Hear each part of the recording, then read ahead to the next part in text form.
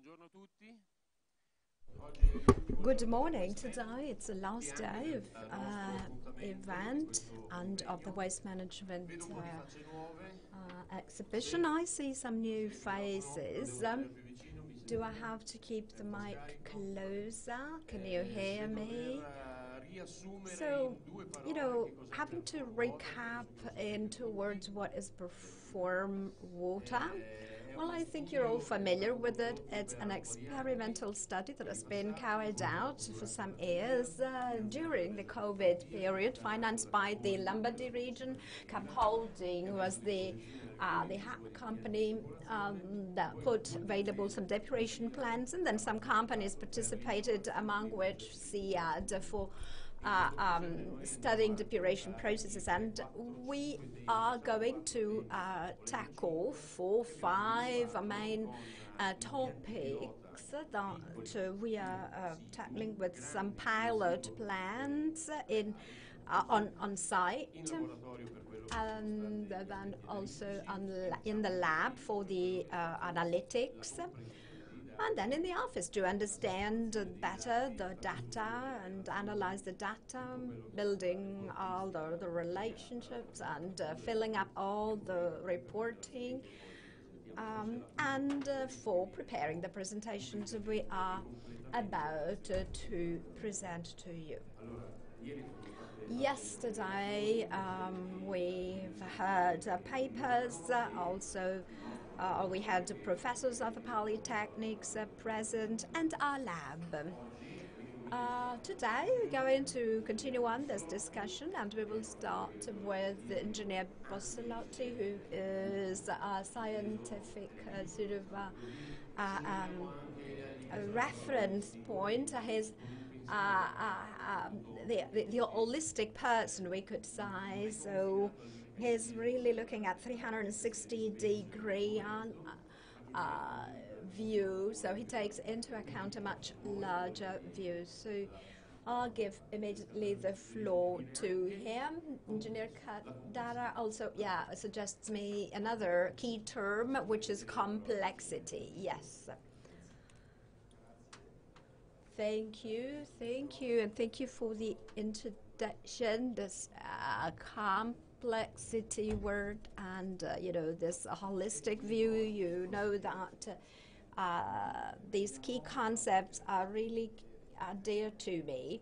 Actually we're, today we're going to continue on um, the discussion that we started uh, uh, uh, yesterday, so I'll try and draw some conclusions. yesterday we saw a few slides um, and we mentioned about SIAD uh, spirit. So actually our sort of focus is that of research work. we have uh, spoken at length about the perform water and uh, the, the, environmental impact. And then also we mentioned uh, this, uh, the big effort uh, that was uh, made on the part of our lab to tackle the topics in a holistic way at 360 degree uh, uh, in terms of the, sludge treatment. So yesterday we saw many, I mean, hands-on uh, outcomes that we have received uh, out of this um, study. So uh, then you might ask, why shouldn't we just focus on these outcomes, uh, uh, especially those that had the highest impact? Let's focus on that and let's not consider other options. Uh, why not? Well, because of this holistic approach that we like. We don't know what the future will be, and uh, of course, uh, our, our uh, you know sales colleagues will. Uh, uh, start sort of promoting those that had the best impact, but we should not neglect the others. And uh, I would like to stress again this uh, uh, keyword uh, gas. Uh, gas that are in the life of the biological plants. So we don't know where we will end up but continuing on studying about these gases. So there are no reasons why not continuing on and studying further this. So holistic, this um, holistic view. And then another keyword is environmental impact. Now, the environmental impact uh,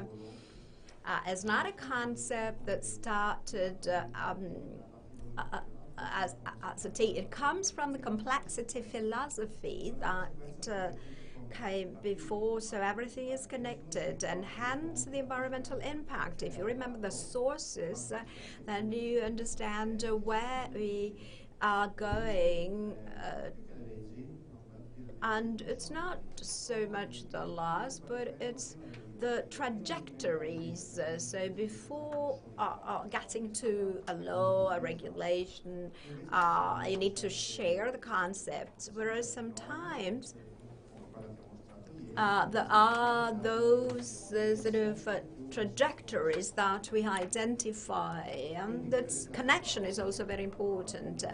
Now, besides complexity, everything is connected, um, and then we have um, the uh, rip ripples and waves because you know that we have anomalous, anomalous waves, strange waves. Well, they are just a sum of ripples. We don't know their frequency, but when uh, this sort of strange arrangement of ripples uh, happens, then these unusual waves uh, are produced. So uh, it, it, some of these ripples become very large waves, and sometimes it's all of a sudden. I remember I was at the seaside, and there was someone there reading the newspaper. Um, and all of a sudden, a big wave came, and uh, uh, this person was covered up with water. You know, we had a calm sea, and all of a sudden, a big wave.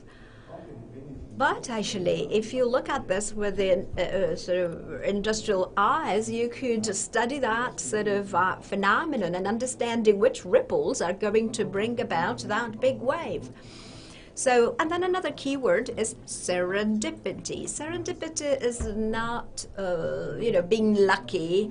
Uh, serendipity is knowing and being able to see.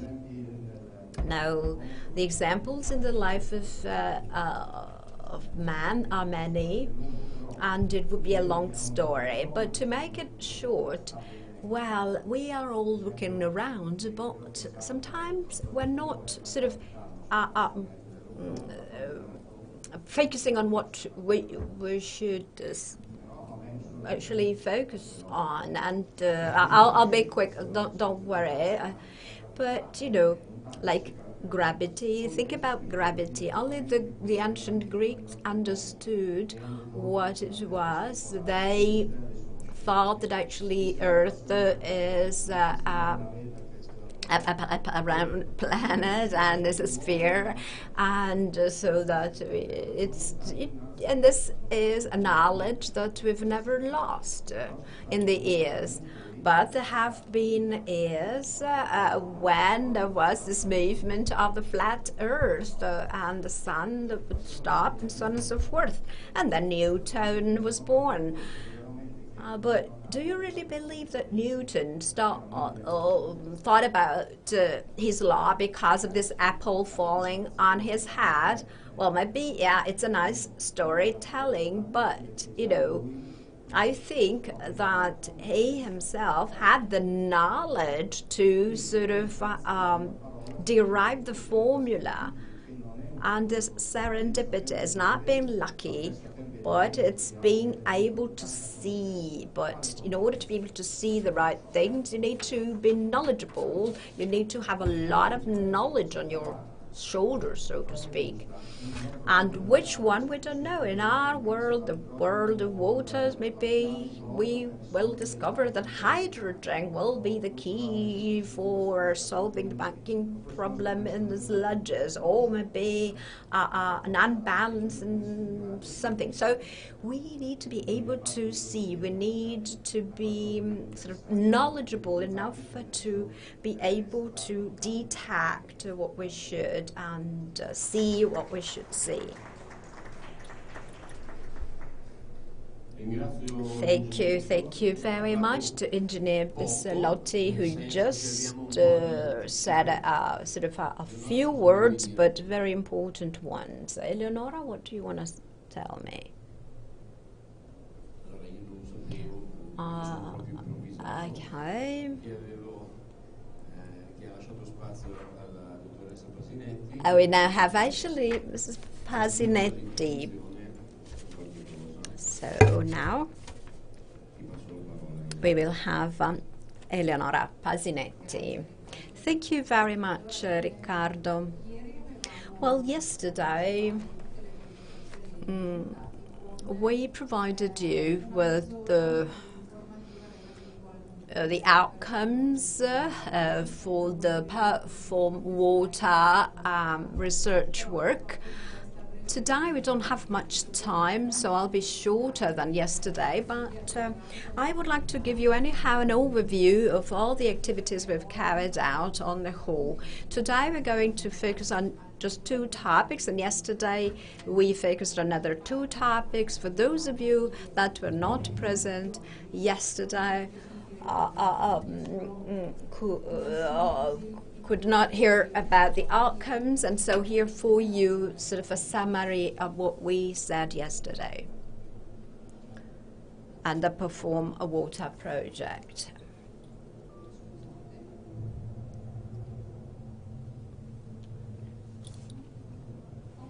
Okay, thank you very much. So here you see uh, some uh, um, key um, pieces of information about the Perform Water 2030, a platform of research and demonstration for technologies to face the challenges of the public water management sector. So a project that is really challenging and SIAD wanted to be part of it, wanted to participate with different targets. The uh, um, environmental biology and chemistry lab participated in the project and wanted to seize this opportunity because you know, our, our focus is to study uh, uh, uh, and carry out feasibility studies uh, in terms of water uh, um, depuration. And so we wanted to make a step further thanks to this project and trying and see uh, all of these phenomena that we've been studying in the lab uh, um, on the field. So that was a really important opportunity for us because, you know, uh, working on site uh, in terms of cubic meters uh, on the field with continuous cycle plants not batch plants, well, that was for us very important. As Riccardo said, we've we had uh, sort of a, a, a team um, with uh, nine partners in total, and the head was the CAP and plus the three university research centers, IRSA, Brugherio, and then the two universities, uh, the Polytechnics in Milan, that was a scientific sort of reference partner, and the Bicocca uh, University uh, in Milan. Uh, the project was funded by the Lombardy region, an European fund, for a total of 9 million euros. And here you see a recap of our targets and the activities that were carried out in these four years. Uh, we mentioned the fact that the target was to optimize processes in terms of uh, uh, uh integrated processes for uh, water treatment. Uh, you see the four main pillars um, in our activity. So water, sludge, air, and biogas. Um, we've actually had five research lines, uh, uh, uh, but yes, so the project was quite a complex one. As for water, we assessed the possibility of applying the ozonization process for removing micro pollutants. Uh, uh, with the ozone and uh, uh, advanced chemical processes, so oxygen with oxygenated water and pure oxygen optimization of activated sludge process. As for the sludge uh, area, we tested the possibility of using ozonolysis on the water line, so on the secondary sludge uh, for an, and also uh, an anaerobic digestion. It's quite a wide and challenging uh, area. It was the first time that we focused on this um, topic, i.e., the possibility of assessing the impacts of depuration processes on air, on the air quality around the plant. So we assessed the aerosol so greenhouse gases, VOCPM, and bioaerosol. And to do so, we had to uh, look at the biological uh, treatment process for the activated uh, sludge. So we're talking about pure oxygen and uh, we had an air line in the plant that hosted us, but we assessed both lines and both processes. So this activity uh, was very sort of uh, uh, energy consuming for us and resource consuming. It took us quite a lot to assess these two biological processes in the ears so that uh, we could uh, really check the aerosols. That was really challenging for us. And then the last uh, focus was that on uh, the possibility of increasing the quality of biogas and the production of biogas. We tackled this through the application of ozonolysis of sludge and anaerobic digestion and also the possibility of optimizing the biogas quality with pure oxygen to reduce H2S concentration. Eh, And where have we carried out this activity? On the right-hand side, in light blue, you see these sites uh, where innovative technologies of the CAP group were made available. We worked in the San Giuliano Milanese West Western plant and the total period was four years, so 30 plus six months plus six months is what you see. So at the beginning, uh, uh, the, the time frame was 30 months, and then we added uh, further six months uh, because many partners actually felt this need to prolong the research activities and to continue on uh, this research because actually the situation was more complex than we thought. And then the remaining six months uh, were uh, due to mainly to COVID that uh, had halted our activities, so we had to catch up. In this slide, um, um, at the, the center, you see an aerial view of the plant, but all the arrows uh, and all the, the pictures around um, show you all the activities that we carried out. As you see, uh, we have uh, taken into account all the different treatment steps uh, in the plant. So uh, we would like to thank the CAP group for having uh, given us the opportunity to use this well-equipped lab that allowed us to work on site. That was the big value added, especially in the sampling days, because the majority of the analytics was done directly in the lab. Uh, just a couple of words uh, quickly on the uh, treatment uh, plant of San Giuliano Ovest, a biological activator sludge reactor, uh, and uh, 30,000 PE, um, 450 cubic meter per hour uh, primary settling on the water treatment line, biological activated sludge reactor, anaerobic tank, secondary settling, filtration, and UV disinfection. As for the sludge line, we have a pre-thickener, anaerobic digestion, post-thickener, and dewatering. In the central part, uh, you see that we have added on the water treatment line what I said before, i.e., thanks to the CAP group that uh, made for us available a, tank, then we revamped it for a pure oxygen activated uh, sort of uh, pilot plant. It was a pilot plant, as I said.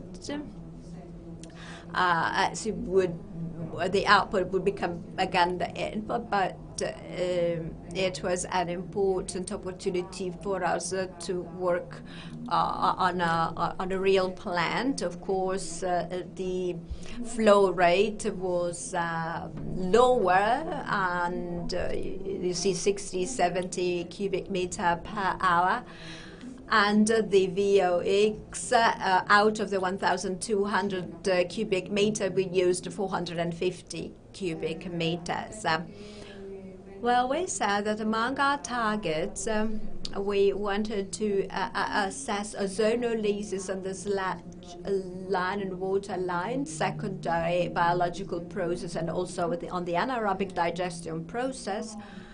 Uh, there's no time for me to just to summarize all the outcomes and results um, because we did that yesterday. As for the anaerobic digestion, the possibility of implementing biogas production, improving its quality with the aim of minimizing production that is the presentation of yesterday, but we can say that all of the outcomes and results will be published in the next issue of Ingegneria Ambiente that will be available by uh, next month. So I invite you to read uh, fully uh, all of the results um, on the issue. Um, has for uh, sludge minimization on the secondary biological process, which is the topic of today. I'll uh, move on. And uh, in terms of using ozone, uh, in the oxidation uh, and the tertiary for the tertiary treatment. Uh, well, this uh, topic was dealt with yesterday in a nutshell, we can say that this activity allowed us to understand whether it is feasible or not to remove the majority of micropollutants, and by that we mean uh, uh, fragrances and uh, drug active principles. So we checked the possibility of removing uh, uh, almost 100% of such compounds with the um, uh, outcomes over 95%. And for this, we assessed the combined process with oxygenated water, so an advanced chemical process. As for the topic I was uh, mentioning before, i.e., the impact of a treatment plan uh, for on the air quality and this is one of the topics we're going to deal with today. And so um, the next presentation will go in details about it. And this is the last slide summarizing the results. And here you see also some figures.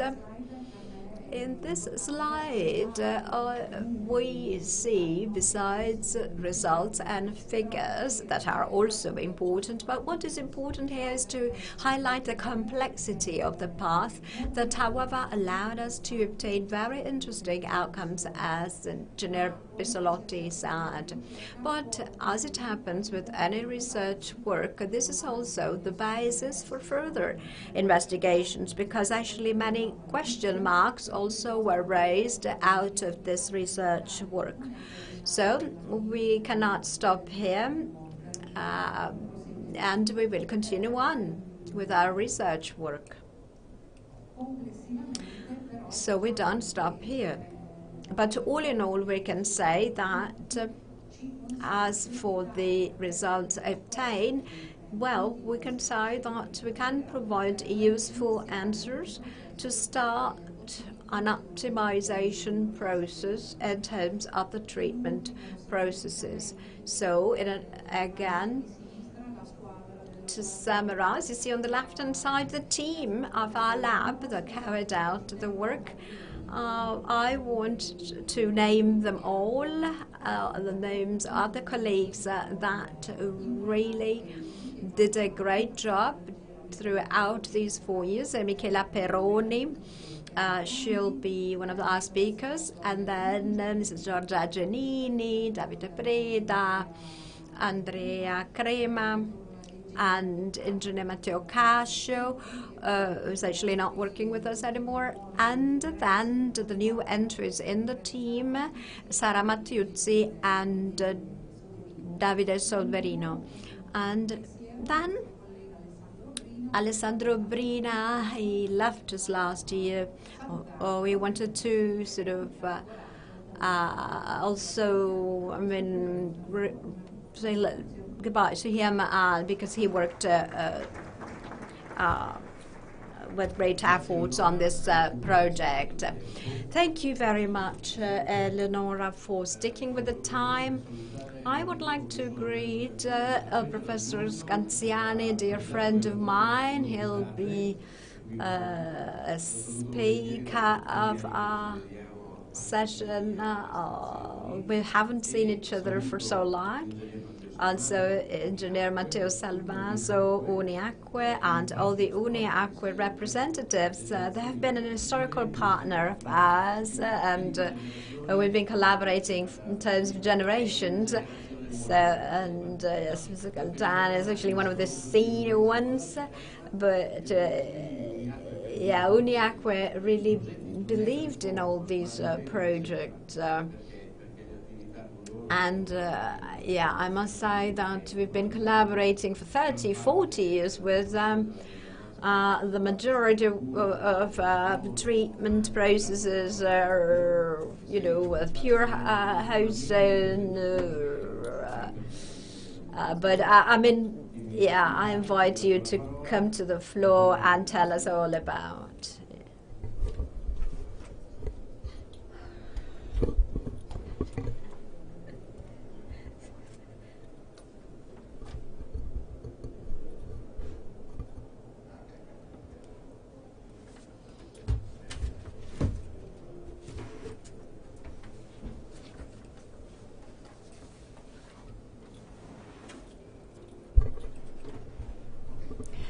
Well then.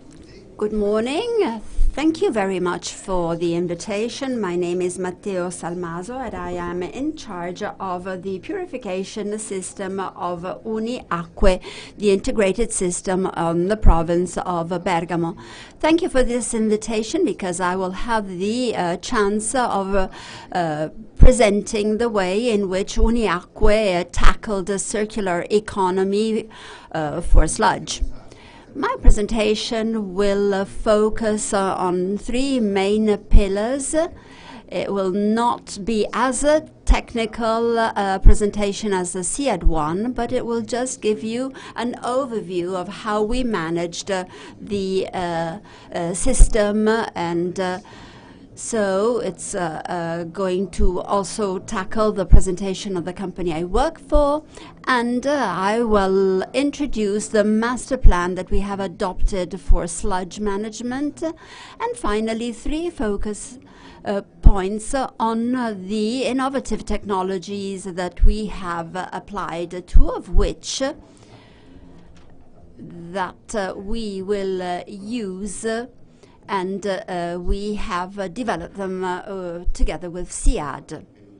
So very, very rapidly, the integrated uh, water service, you very well know what the water cycle is, uh, and our activity is really permeated with the concept of circular economy. So we uh, catch water and then uh, we supply it back to the environment clean thanks uh, to a monitoring uh, network. and we want to uh, avoid, of course, waste, and we want to be as effective and efficient as possible in all of the three services, so aqueduct, fun, uh, um, sewage, and purification.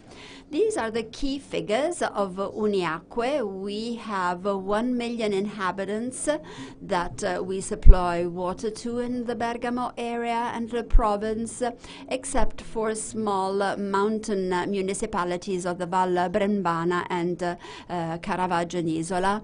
And at the moment, there is another company uh, that works uh, for these uh, municipalities. Our municipalities are 213, and we have 151 million uh, cubic meters of water in the network. Uh, this is the uh, data coming from our sustainability report that we are drafting for the have been drafting for the last three years.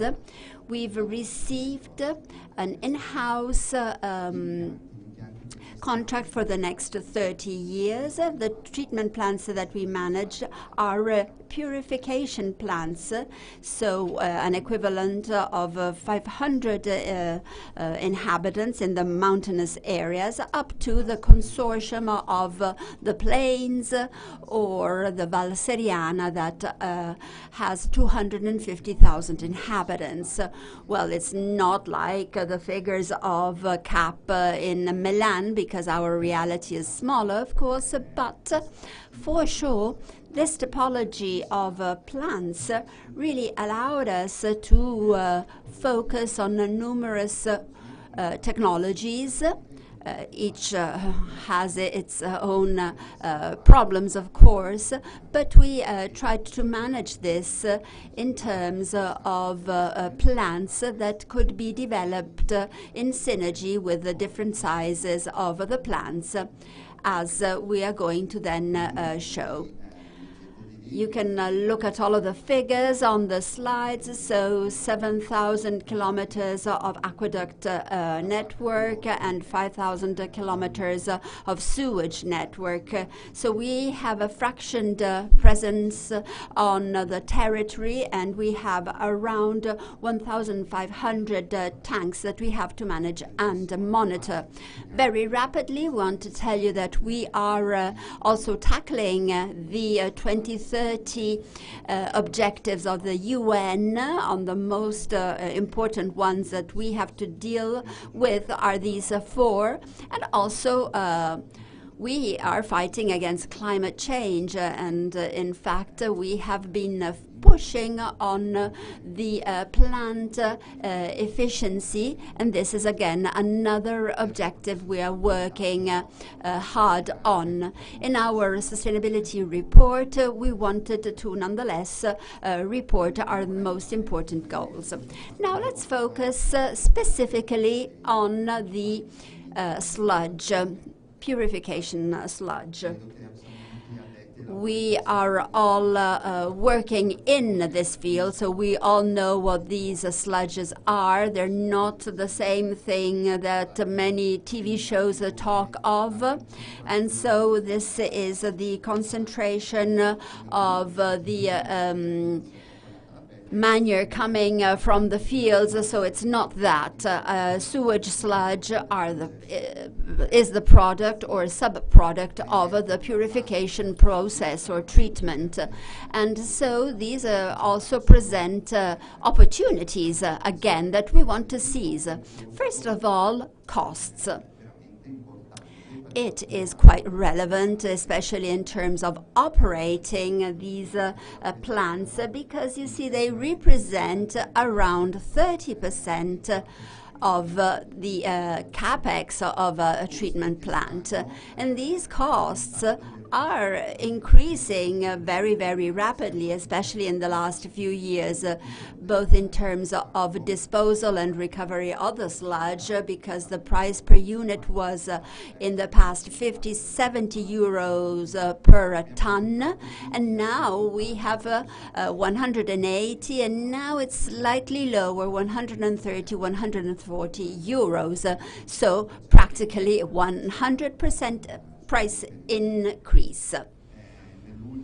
In the last uh, six to eight months, well, uh, to these uh, uh, increases, uh, we all know that we have to add the high increase of uh, raw materials, polyoelectric electrolytes, energy, power, transport, and so, as you might understand, you know, making all this as efficient as possible in managing and treating sludge is more important important for the economy um, of the manager. Now, the carbon footprint. Well, of course, here we have to deal with digestion and uh, sludge uh, transportation that is uh, uh mainly carried out with uh, uh, trucks on the road, and then the service laws becomes more and more uh, stringent and strict and sometimes uh, uncertain and difficult to understand and interpret.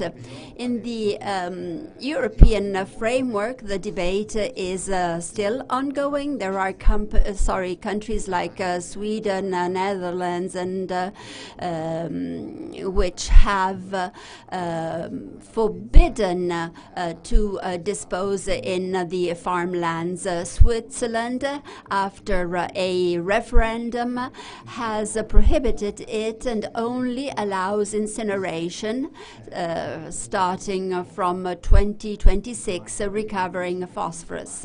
Other countries like Germany, France,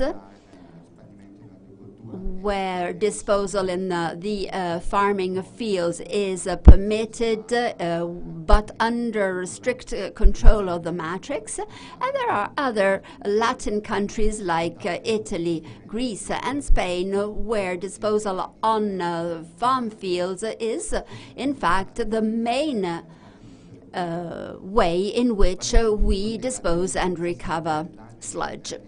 Anyhow, the trend will be that of limiting more and more this disposal in the uh, farming fields. Another uh, critical uh, uh aspect is uh, the um, odor.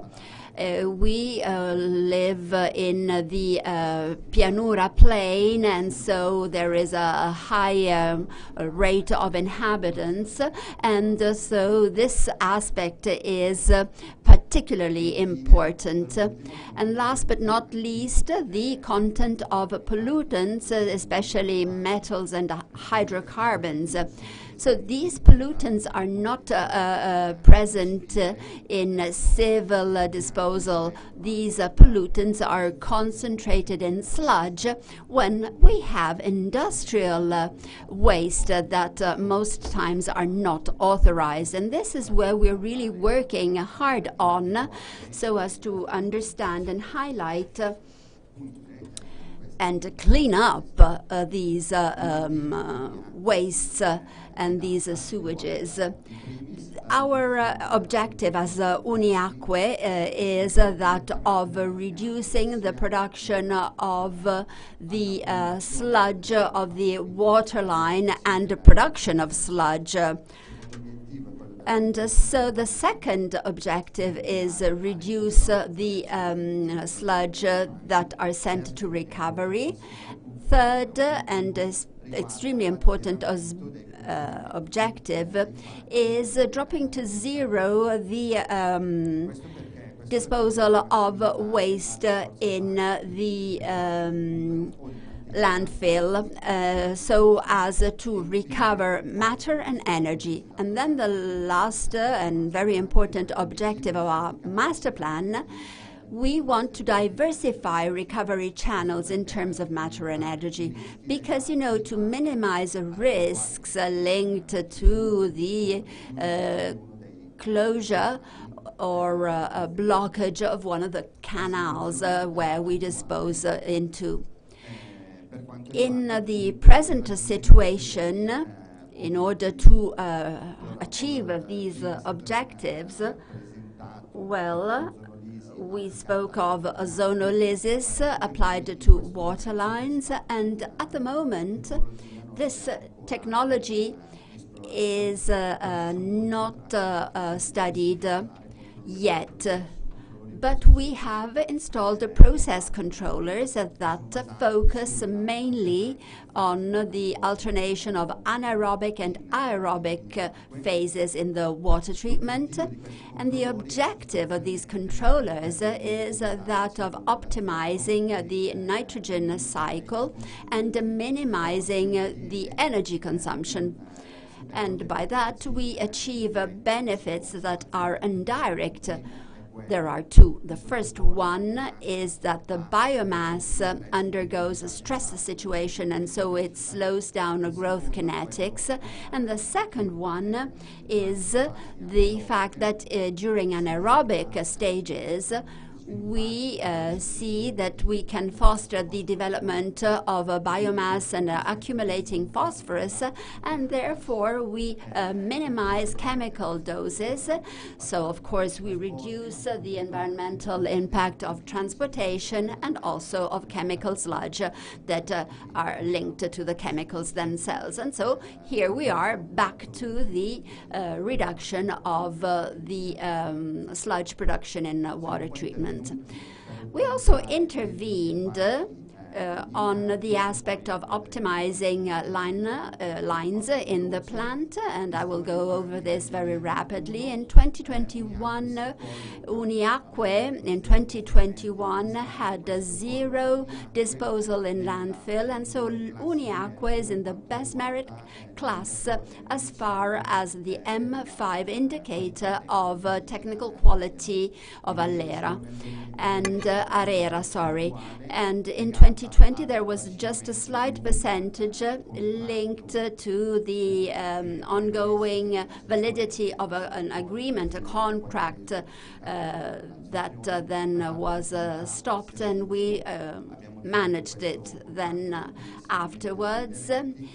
And this contract nonetheless did not impact our merit class because the threshold in the mm, passage to the next uh, merit class is really under 1.5, and so we were below that, and so we've always been in the best uh, merit class.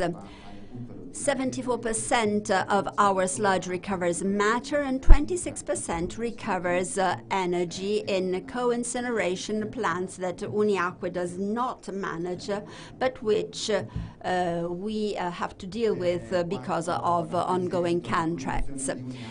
Uh, the production of uh, Uniacque is 37,000 tons uh, per year, from 21 to 28 percent on certain plants where we have the best percentages.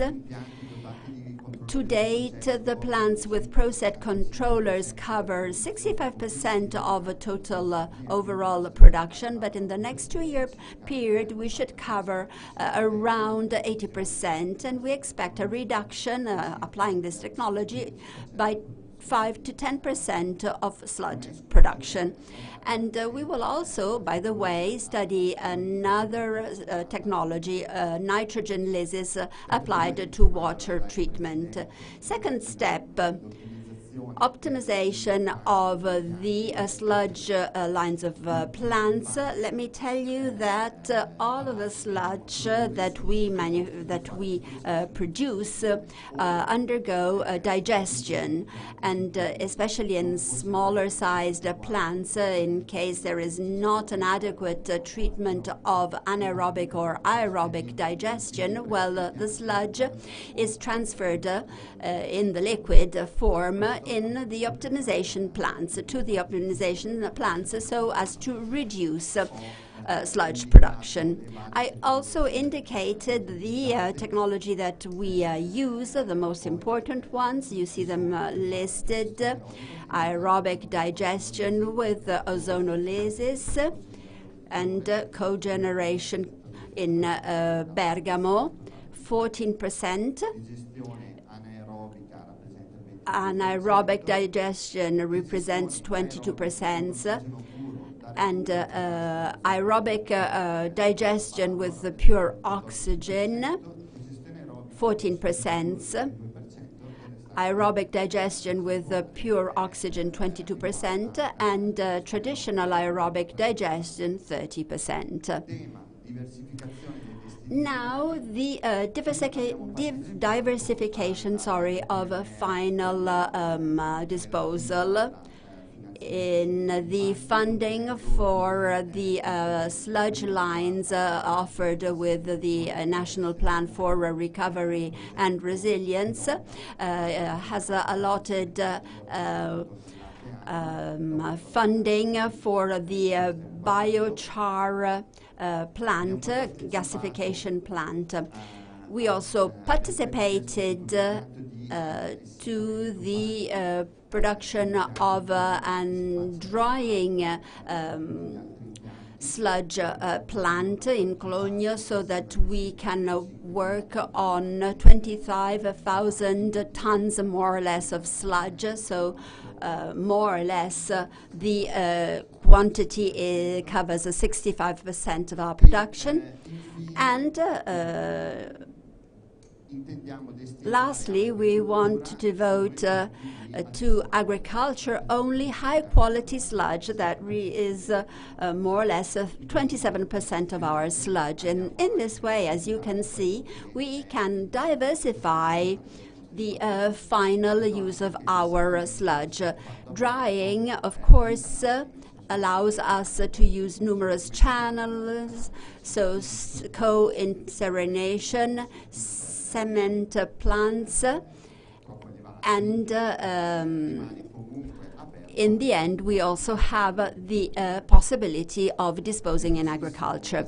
Very, very rapidly, a, a slide that uh, um, you can look at uh, and you can uh, view our interventions in yellow, our municipalities, in gray, where we intervened, and in white, the municipalities that we do not manage. And as you can see, the intervention is really uh, broad ranging and uh, disseminated. Now, uh, let me uh, speak of the uh, different types of technologies. the first one is the plant in Bergamo. We uh, treat here, we cover here the municipality of Bergamo and other close by municipalities, so 170,000 inhabitants. So recently, we partially updated the plant, and it is uh, made up of uh, uh, grills, um, mechanic settling, pre-nitrification, uh, uh, system one, uh, secondary uh,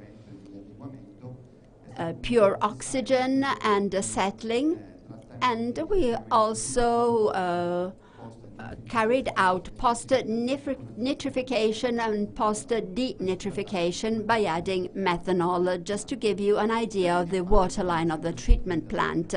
The sludge line has a, a static and dynamic uh, pre-thickener and uh, an anaerobic, primary anaerobic digestion plant with three parallel tanks, and uh, we call them primary. The third one is an, uh, a secondary anaerobic digester that receives the digestate from the first three. We carried out uh, um, an in-depth study together with SIAD, Uniacque really studied the application of uh, ozonolysis in the three scenarios that I am going to present. The first one focuses on uh, ozonolyzers on fresh sludge supplied uh, by one of the digesters. The second one is the application of an ozone stream applied to the uh, exiting digested um, on the one of the primary digestion plants and the ozone uh, plant uh, focusing on the secondary anaerobic digestion. So the research had different stages. First of all, uh, we had a sampling of fresh uh, sludge and digested uh, sludge, and uh, we studied uh, the uh, nitrogen, the suspended volatile chemicals, and then we carried out ozonolysis on various sludge, and on sorry on the three typologies of sludge. The speaker corrects himself, and for each of these, we determine the benefits that could be obtained. So, dissolution, dispersion of the uh, carbon uh, substance, the, the uh, increase of the settling of uh, uh, sludge, the uh, reduction of the settling of sludge, but we only studied the digested sludge, not the fresh sludge and the increase uh, of the um, methane origin quality of the digested and the uh, reduction of the DSS. We studied uh, the three scenarios in depth and studying also the pricing, so raw materials, and I do underpin this because it's absolutely important because the world has changed changed in this, uh, uh, from this point of view. So we've chosen the best uh, scenario. Let's wait for the end of the announcement. So the best scenario, as I was saying, is the uh, applying a dose of 0.05 uh, per gram of volatile substance of ozone to fresh uh, sludge uh, supplied to one of the primary predigesters. So once we uh, understood that this was the best uh, uh, scenario, and Matteo will focus on that uh, in uh, July, August, and September, we will then proceed to apply this uh, on the field, and we will try it out for 12 months. We will also uh, study, of course, this is the best scenario, but we do not exclude the, the uh, possibility of applying it to uh, one of the other three. So these are extremely convincing in terms of uh, data. What we're really interested in is to carry out a study uh, as uh, in the case of Perform Water, and here the scale is uh, uh, broader and larger. So we're working on our own uh, territory, and it's uh, going to be easier to exchange data with uh, with you all. So very, very rapidly, as my time uh, is running out. So an important focus is aerobic digestion optimized with the off-gas recovery on three of our uh, treatment plants. We use ozone for the final uh, desainification phase. So we uh, focus uh, on waste, industrial uh um, waste uh, that come from textile plants. And so we really needed to degrade these uh, molecules uh, of dyed uh, chemical substances that are the most difficult to treat. Um, the three uh, plants uh, did not recover the uh, stream of oxygen and ozone that was created when using this technology. And so this is how we had the idea in the uh, um, uh, framework of uh, circular economy, the uh, stream that is uh, truly important at technical and economic uh, um, level. oxygen was recovered in the water plant, on the Casnigo treatment plant, and the Cologno al Serio Uh, treatment plant. Uh, the uh, gas flow, this is pure oxygen, by the way, is repressurized through a Venturi system. It's pressurized, as I already said, in the sludge. The sludge is uh, taken from uh, the uh, management tank. We recover oxygen, and we have 95% degrees, and the flow is then resupplied to the management vat or tank.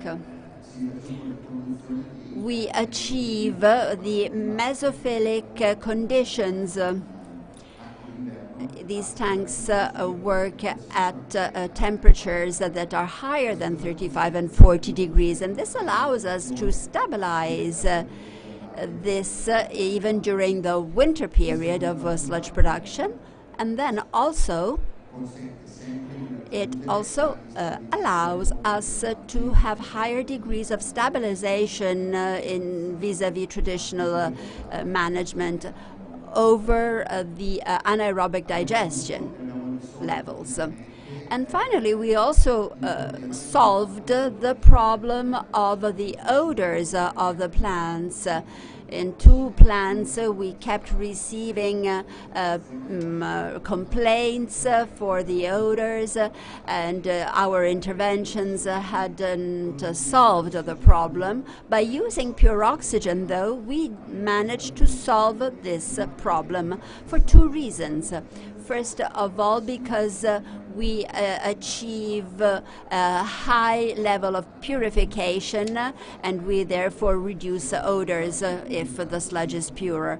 And then using pure oxygen with a transfer rate of 80%, well, you see the gassy volume that is freed into the atmosphere is really negligible. It's Uh, just a few uh, square uh, cubic meters per day, and we use air, um, 80% of nitrogen, um, 20% delivery, and so millions of cubic meters per day into the atmosphere that do not have any odor.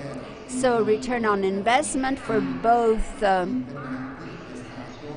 interventions was uh, lower than 12 months because, uh, uh, thanks to reducing sludge production by 27%, we managed to achieve a return on investment that was higher because we reduces, reduced the transportation of sludge and less polyelectrolytes. Moreover, these uh, two plants, uh, Cologno and Casnigo, were used as uh, disposal um, plants of wastewater that is received.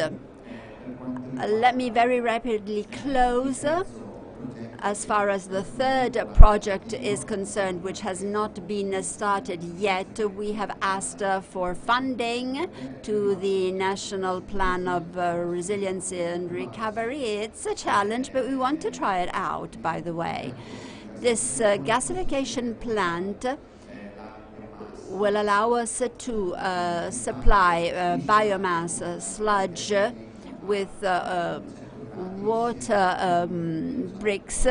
We uh, then have uh, a uh, system of cleaning. We produce syngas, which is a mixture of methane, just 4%, which nonetheless contains 15% of hydrogen and 10% of uh, um, carbon monoxide. And so this gas burns, uh, and we recover it in a cogeneration plant. The uh, power is then used to make the um, treatment plant work and consumption is reduced. So this plant, uh, according to our calculations and uh, studies, would work at uh, parameters that are lower than the European taxonomy in terms of uh, treatment plants. the uh, heat flow generated by the cogeneration is then recovered by the pyrolysis process. And by that, I have concluded. Thank you for your attention. Thank you, Matteo. I'm sure that Engineer Caldara wants the floor. Yeah, of course, I have to start by thanking Uniacque. Now, you're clearly are very young and you might not remember when this uh, water uh, treatment plant of Bergamo was started. We're talking about 1978 there are people here that were not even born, but that was so important for the city of Bergamo. In those years, there were just a few water treatment plants in Italy that had this secondary treatment line. And I must say that I remember that uh, we were looking at this uh, mixed liquid suspended solid only whether it was uh, like um, uh, polished or, or, not. And then uh, Mrs. Pasinetti uh, joined us. She was uh, a young girl in those years, but uh, she really organized the lab at best. And we understood properly what it meant to do water treatment. And uh, now uh, we have also started this biology lab. Now, Thank you very much to the municipality, also Bergamo and Uniacque, for having sort of uh, uh, continued on uh, this oxygen treatment line. I know that uh, there were some attacks uh, uh, against this sort of technology um, on the basis of the cost, but I must say but I'm happy to see that actually the cost per cubic uh, uh, meter uh, uh, um, is not clear, but uh, maybe it would be useful for us uh, to see sort of final recap of also these costs because this water treatment plant has been in operation for more than 44 years now, so we do have a lot of experience on that. Um, I'd like to sort of look at the figures in more detail, but thank you, thank you again to Uniacque that also uh, uh, stood firm uh, against all the attacks that you might have received. And I'm happy that you to hear that you are now trying out a uh, Ozone, and I'm sure that the final energy consumption will be lower in this case. Uh, thank you again.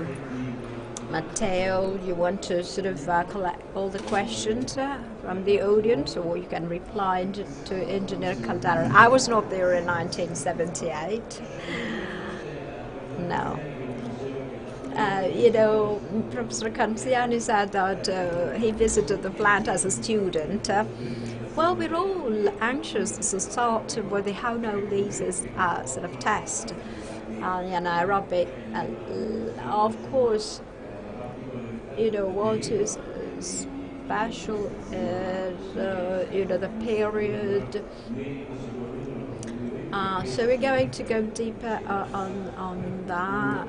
Uh, and we know the plant, uh, we've been working together for so many years, so really motivated, and we will put all our effort so that uh, uh, we are successful.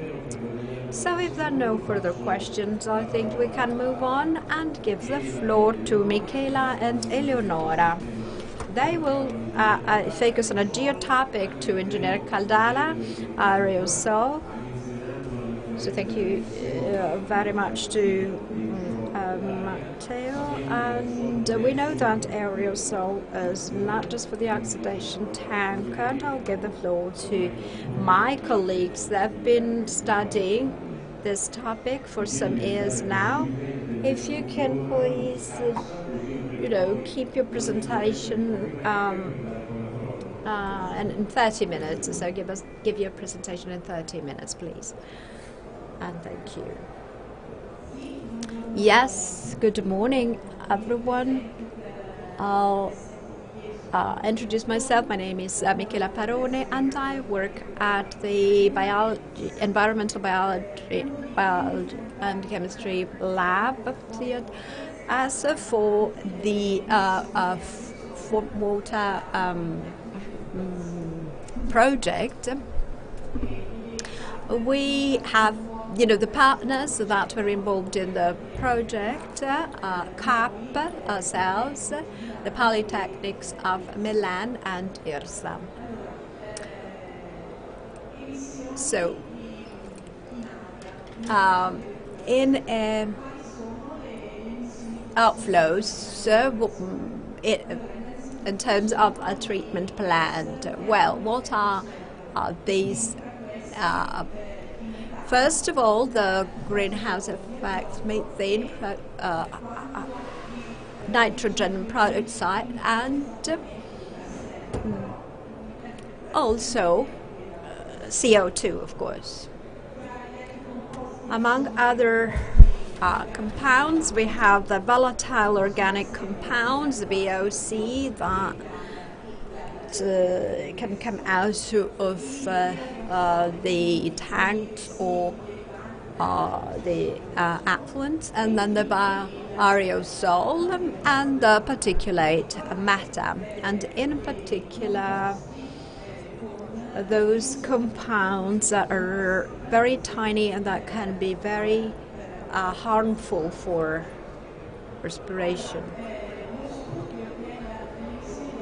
So the aerosol uh, uh, pro, uh, study mm, looked at the process, the entire process. So we assessed the, the sludge line and the emissions to the atmosphere. So we are now focusing in this presentation to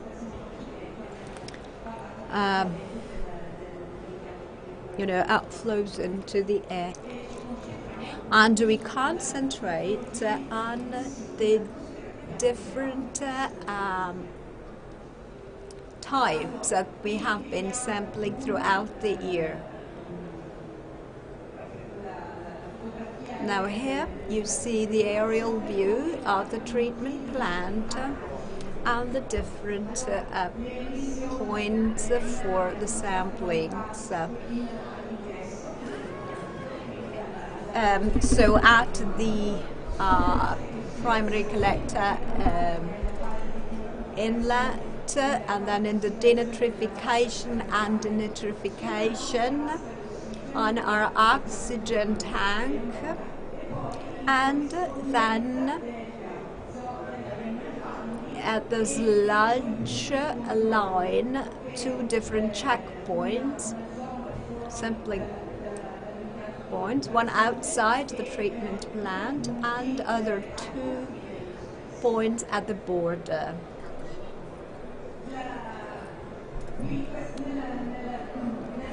In up above you see the,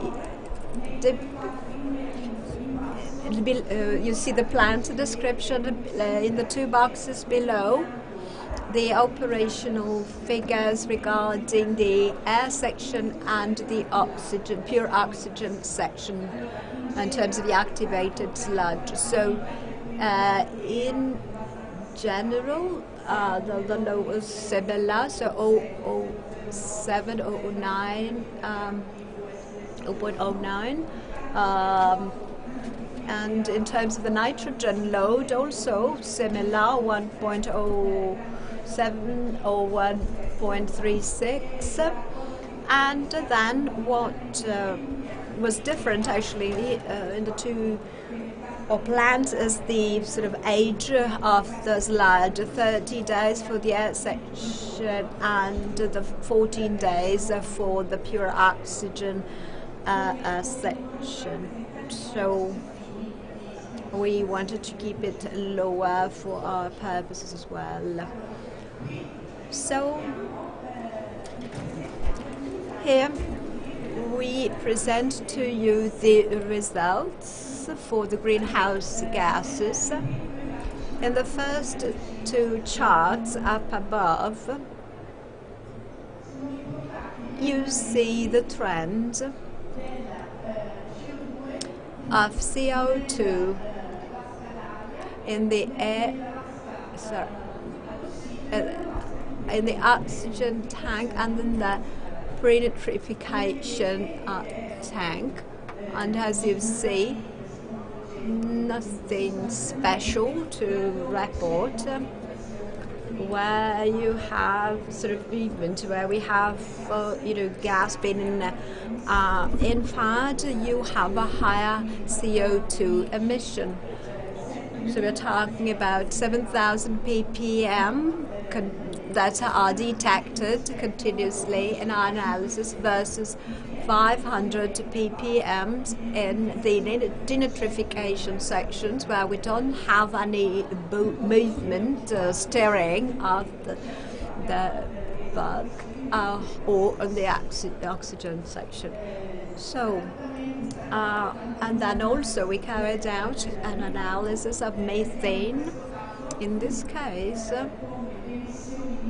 you see that methane emissions uh, settled around 100 ppm values in the denitrification tank and in the air one, whereas they reached higher levels in the oxygen tank because in this case uh, the process uh, uh, was with nitro confined, so uh, uh, nitrification denitrification. This uh, uh, leads to denitrification processes and anoxic conditions are created with methane emission.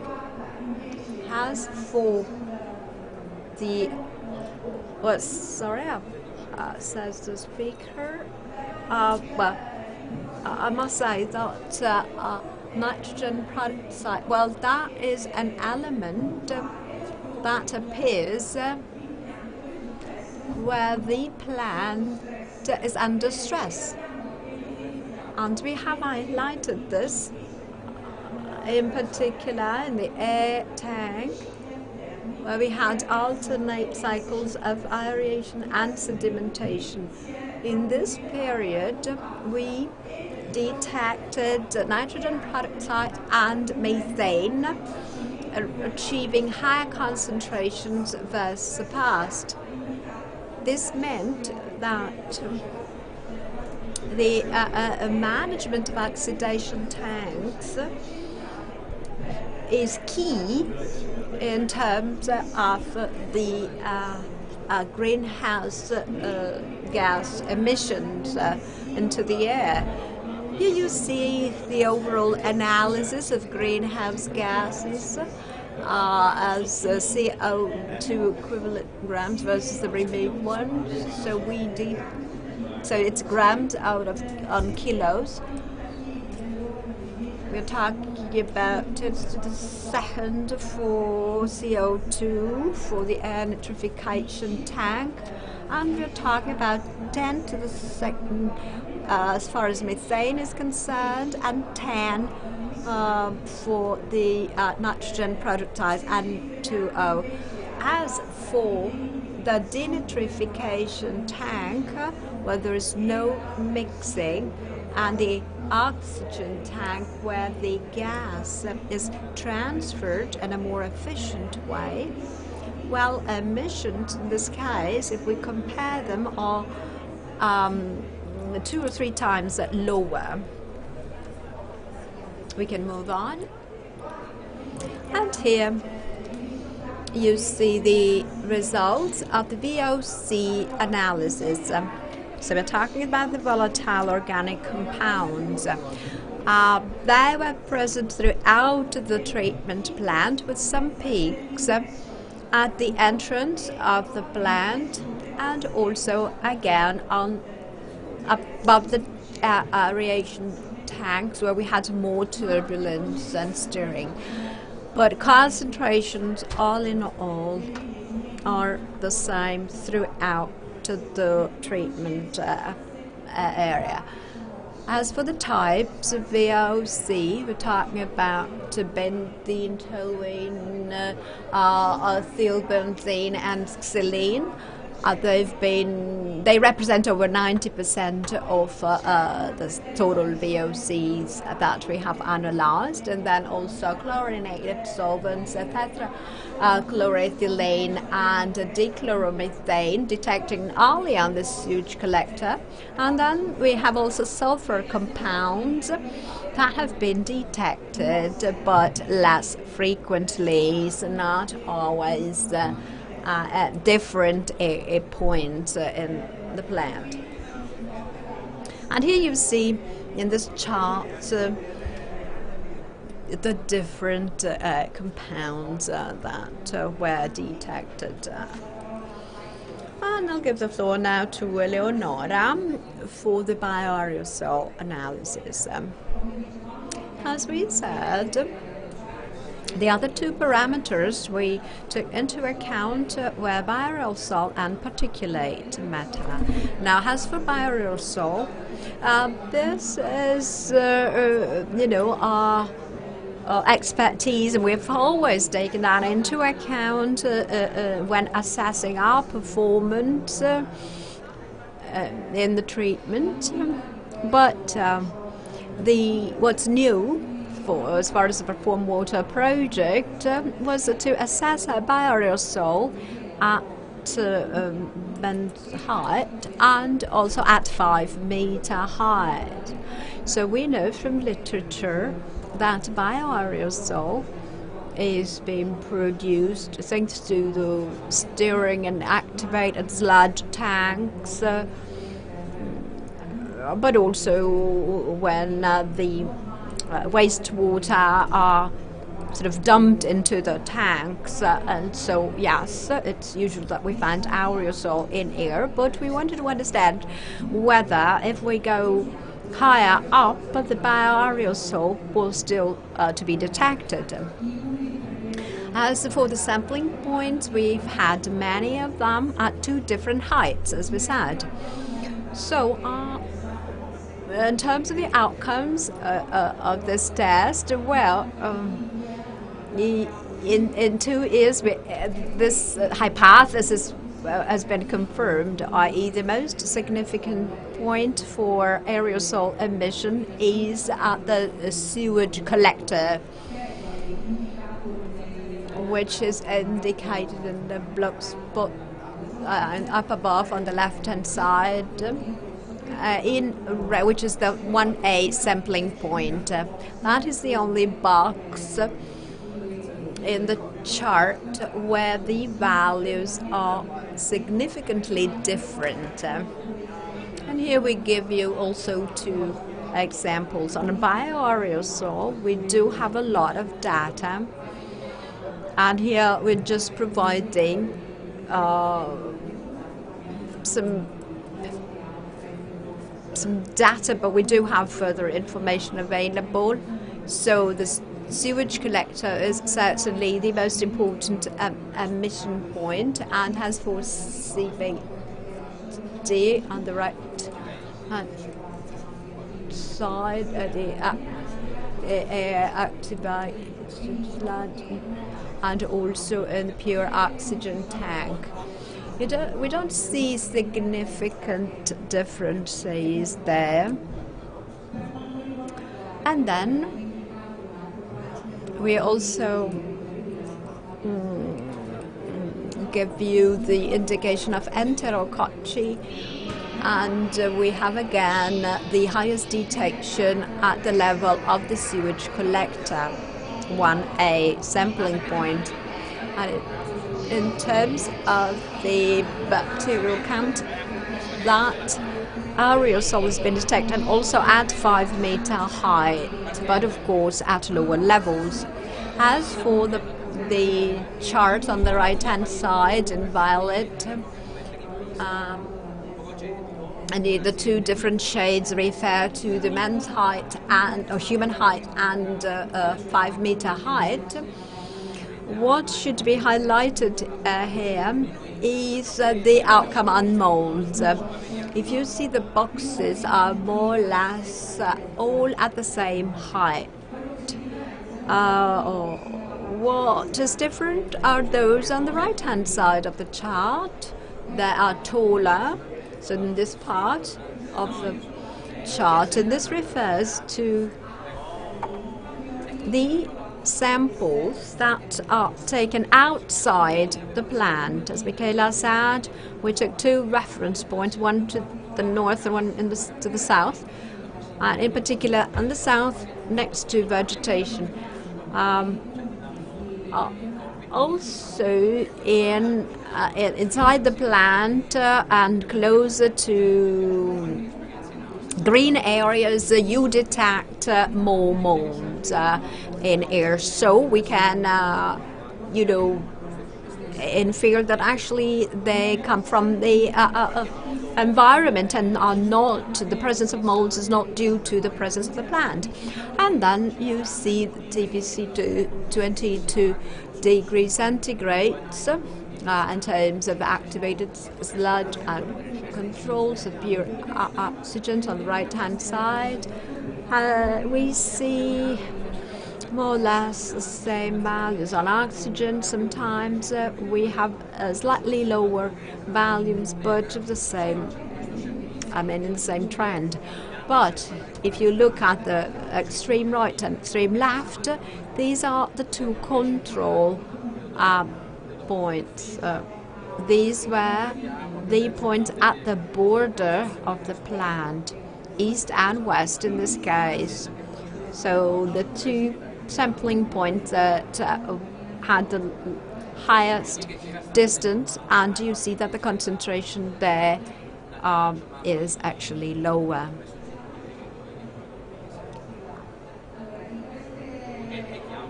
In these other charts, we see a different way of representing the data.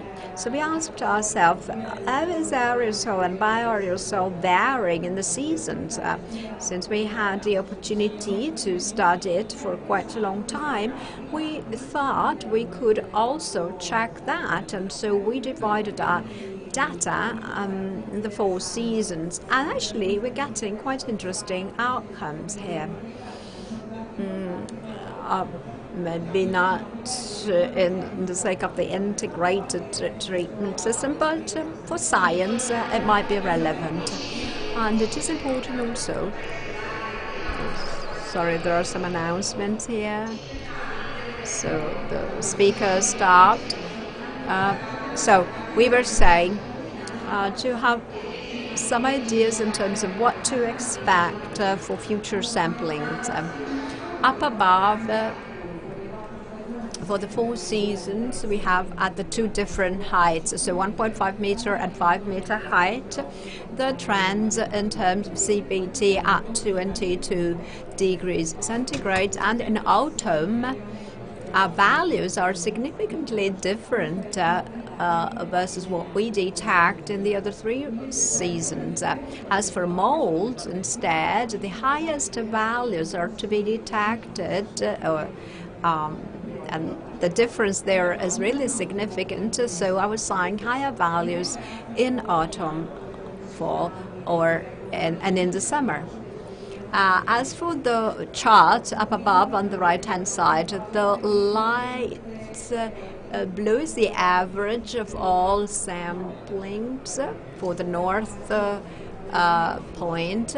In orange, we see the average of the parameters of the plant. So it's the average for the wa water wastewater treatment plant. Darker blue the bar in darker blue are the samplings uh, at the south side. uh, we wanted to understand, in this case, whether the uh, uh, water uh, treatment plan had an effect on uh, the quality of air. We know that aerosol in air decays in a few tens or hundreds meter, but not beyond that distance, and especially in the summer with ultraviolet rays, uh, the the microbic charge is uh, sort of uh, neutralized very uh, quickly. So when you see molds, Enterococcus and Escherichia coli, and total coliform. So as for um, the TBC 22 degrees and 36 degrees, a slight difference uh, between north and south.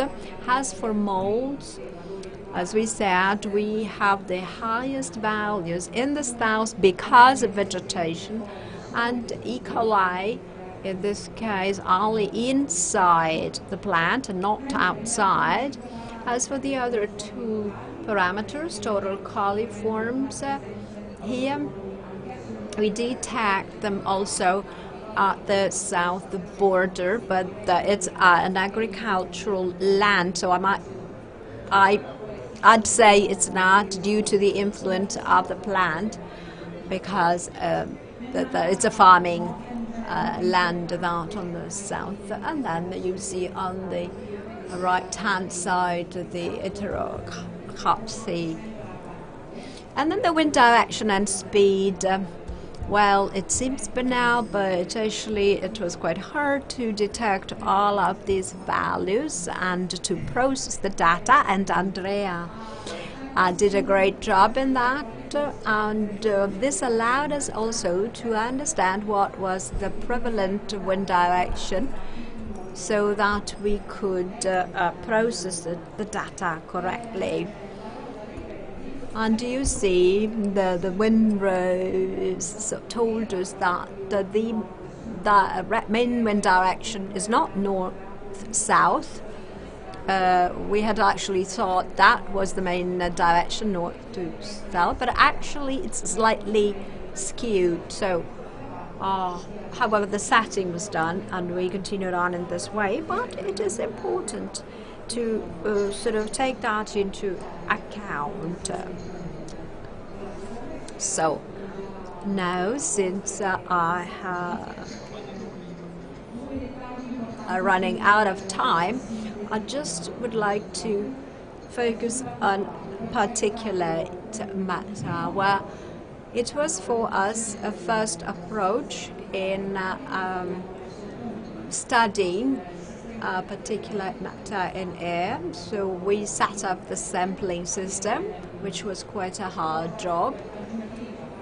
And also, we had just one sampler, and so we could not do uh, contemporary sampling, uh, concurrent sampling, but uh, we did so on different dyes. Uh, this is a limitation in the study, I must uh, state that. And as for the analytical part, since the target was understanding where the substances would go uh, according to the matrices, um, the analytical setup uh, was done to detect fragrances in the particulate. And here you see a few figures. Among the most significant ones, the second uh, on the so the, the chart on the right hand side, the blue uh, one, uh, the ultra fine uh, particulates, those that are PMs, are that are those that are most important for human health. This activity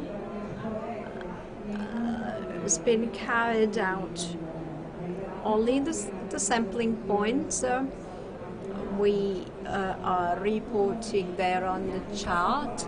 So for PM, we have just considered uh, some significant sampling points. So the, the, the sewage collector uh, and the two biological tanks compared to what we considered as being white ones. So the northern one for us was important. Mm, because uh, we have uh, an important uh, uh, road there, a highway, and we thought that the particulate matter could come from that source and not so much from a, the water treatment plant. This is just to give you an idea, of the uh, setting of our work, of the setup of our work. Here you see some results uh, in terms of the PM uh, referring to metals. Unfortunately, we, don't have all the three dimensions of PM, it just refers to PM10. As for metals, uh, we're talking about nanograms or micrograms and um, cubic, cubic meters. So as for particulate, fragrances have almost always been detected. And of course, fragrances uh, are due to the sewage collector. As for metals, uh, as expected, the source is not was not actually the highway, but the sewage collector at least uh, in our first uh, results. To draw some uh, conclusions, in this slide, we want to uh, provide you this sort of holistic view um, in terms of the water treatment plant considering that the organic load of the um, inlet, uh, you know, uh, you see the load there.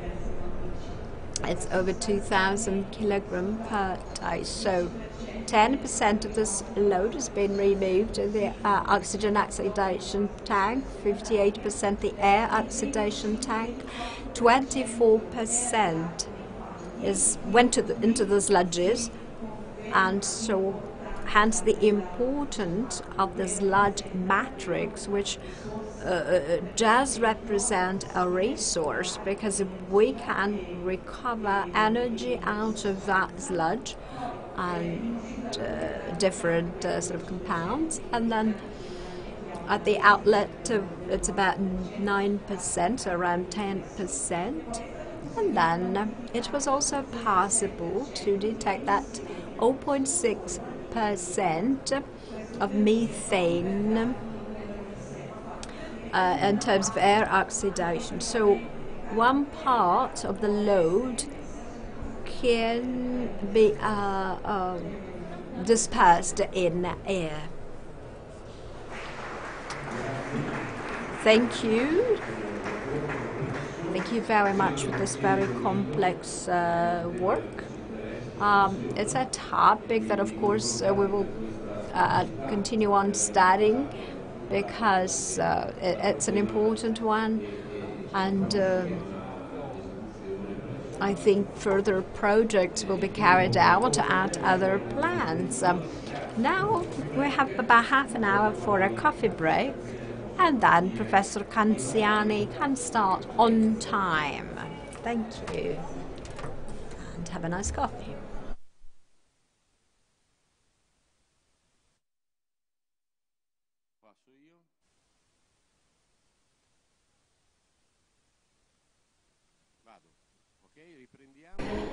So, we resume uh, our meeting. Uh, I will leave the floor to uh, Professor Canziani, who is uh, going to focus on uh, the uh, topic of sludge.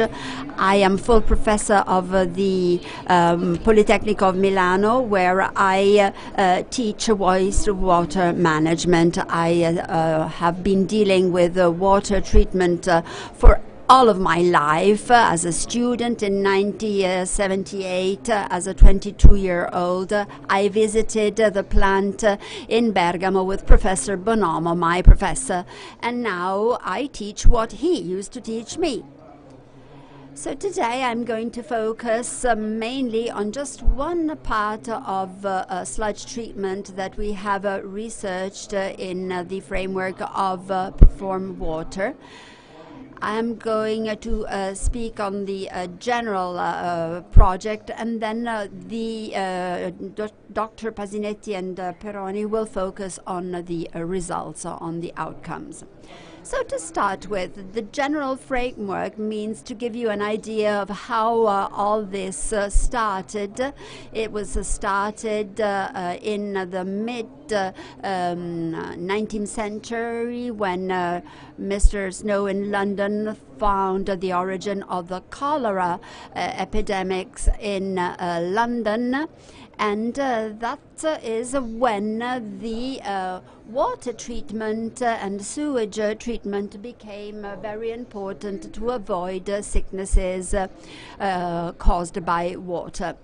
Then uh, the aqueduct pipelines uh, also created uh, the requirement of the sewage pipelines and networks, and that was needed because of wastewater treatment so as to avoid diseases that could be um, transmitted by infected water. But also, uh, lake waters. I live close to the uh, Varese Lake, and the water quality decreased because of the 200,000 inhabitants. Um, discharge of the wastewater into the uh, lake. And even if now we have more than 30 sewage collectors uh, that are working, nonetheless, uh, the uh, lake waters are, are still polluted. Then uh, we, uh, of course, set up wa wastewater treatment plants, and these, of course, have sludges. So we have a new paradigm uh, my colleague, Professor Malpei, should have presented the new paradigms of water treatment, uh, but uh, luckily she has, now has uh, COVID, and this is why I keep wearing uh, my face mask, and I apply the protocol uh, that we use at the Politecnico. When I'm in the audience, I wear the mask, and when I'm teaching, I don't uh, use it. And these are the measures that we stick to in the Politecnico University. So the paradigm now focusing to the maximum level of uh, uh, treated water so as to recover it and use it in agriculture and industry, and uh, uh also uh, recovering the sludge, we wanted to recover matter and energy, especially from sludge. Let's uh, remember that uh, half and three quarters of organic load enters uh, sludges, and this is where hydrophobic uh, um, matter concentrates. So the sludge line is absolutely a must. If there's a blockage, well, there will be a crisis in all of the plant, and the treatment, of course, will not be carried out. So a unique solution does not exist. And so we have to assess case by case which solution to adopt for any single case. So we should consider specific uh, management criteria and also uh, assess the various technological uh, options that are available. So by considering the whole uh, system when uh, working on the sludge system, we also have to assess the mass uh, uh, load on the whole line. So with the idea of circular economy in mind, we need to understand that no cycle can be 100% closed without spending energy. This is a, a principle of thermodynamics. And so now for uh, sludge management, we have various uh, technological options uh, minimization, stabilization, aerobic, anaerobic, uh, co digestion with the organic fraction of uh, waste. Then we also have uh, dewatering, mechanical dewatering with thermal drying. And this is just one of the options, and I will not go on and on. And then we also have thermochemical treatments that uh, have come to the forefront because it's an alternative to landfill and agricultural land for those sludges that cannot be uh, disposed in uh, farmland and uh, you know uh, also um, landfills go uh, are going to uh, disappear. And tomorrow, by the way, in region Lombardy in the uh, Palazzo Lombardia, we will present an update of the waste management of the Regione Lombardia that foresees zero waste in landfills. So there are numerous options: incineration, co-incineration like, for example, in the kilns and with secondary solid uh, uh, fuels, um,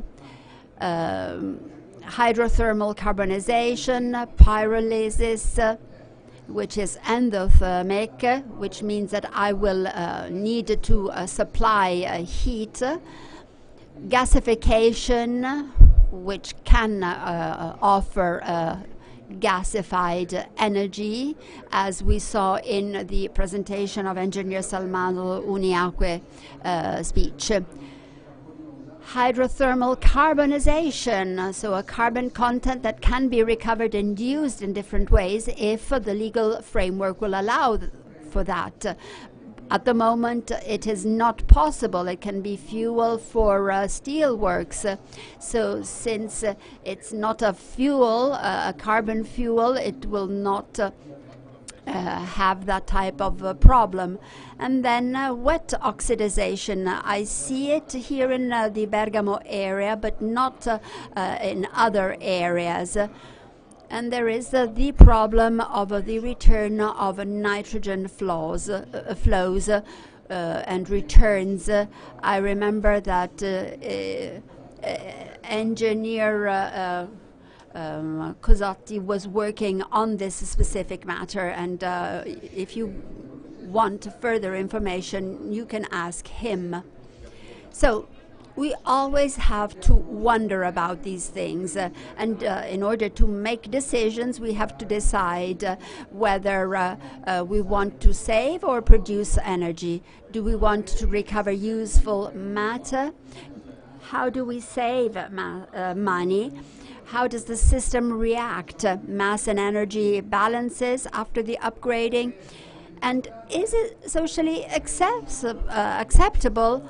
Or will we see uh, numerous uh, committees uh, that will uh, revolt against uh, this decision? And if this happens, why will this happen? Because we have not been able to communicate this uh, at best. Because when this is communicated transparently to the population, normally social opposition is then reduced.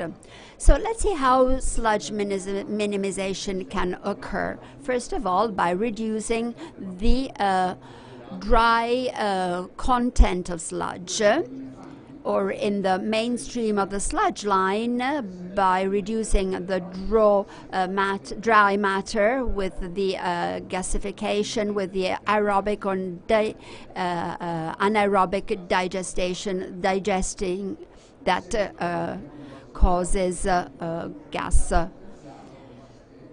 We can uh, then use thermolysis or other mechanical lysis to try and maximize the degrading of uh, volatile solids and therefore receive recovery of energy. Then we can also, on the sludge line, reduce both dry matter and water content. In this uh, graph, uh, you see how the sludge mass uh, comes from the humid part that is 90% uh, water and uh, is reduced after incineration. And uh, you see, we have the dry part with no water at all, and so the reduction of volumes is really, really relevant. So, what are the technologies that we can use? Um, ozonization, as uh, we've seen, oxidation, sorry, and now on the water line. There is metabolic decoupling, uh, result uncoupling, resulting from uh, the uh, stress to biomasses that was oxic settling anaerobic process, OSA and uh, which was uh, used in the uh, cannibal process based on a similar process, on a similar concept. It did give uh, good results, but in the end, there was no high return on investment, and so the dangers were higher than the benefits. We've already asked uh, we've already seen this example, and now, after wondering about uh, the various questions we should ask ourselves uh, before making a decision, one of which is uh, do we want to minimize uh, disposal costs by reducing sludge production?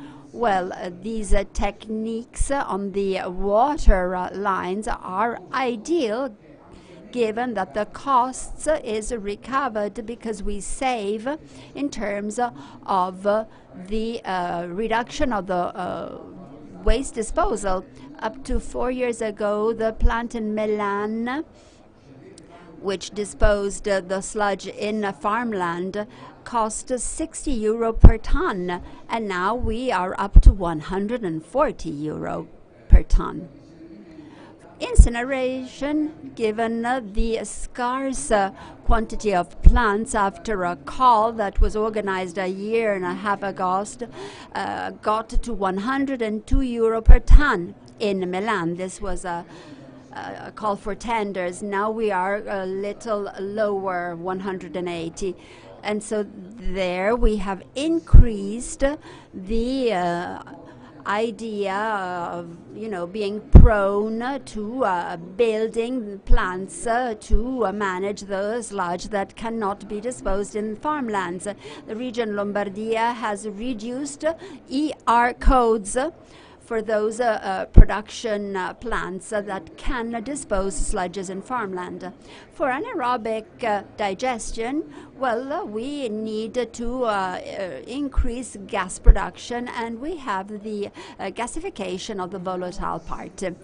Another question, do we want to maximize material matter and energy recovery? So some of the techniques the most used are okay and some are not because if we reduce uh, sludge production we know that the concentration of metals will be quite high.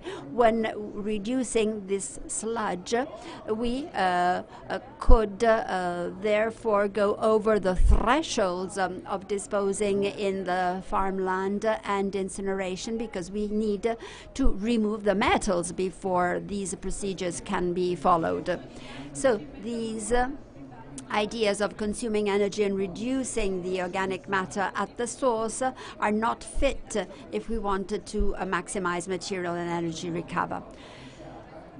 Uh, boosted or enhanced anaerobic digestion is instead interesting because uh, we can enhance the uh, um, degradable organic matter and uh, transform it into biogas, CO2 and methane, and then produce biomethane. Monoincineration transforms uh, matter in thermal, uh, thermal energy, so there are uh, um, ashes that can uh, have uh, that are rich in phosphorus, uh, six seven percent as phosphorus, In uh, Florida, they produce it at 6% uh, phosphorus, so it's uh, feasible, and then inert materials that can be used in the building industries.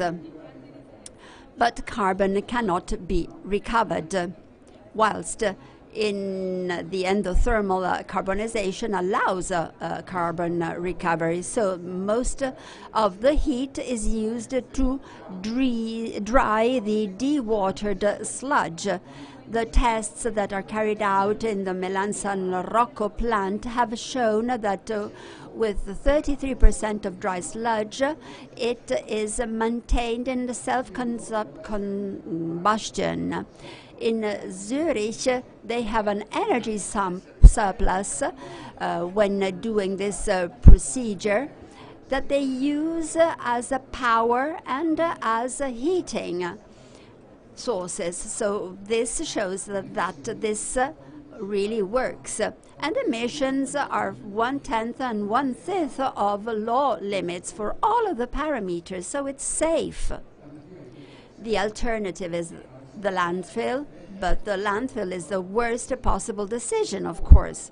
Those who are against uh, to uh, against mono-incineration and accept the idea of uh, landfills are uh, against uh, environment protection. So it's up to those who are skilled and competent to explain it to those who demonstrate and march in the streets because they do not know uh, anything about these uh, technologies.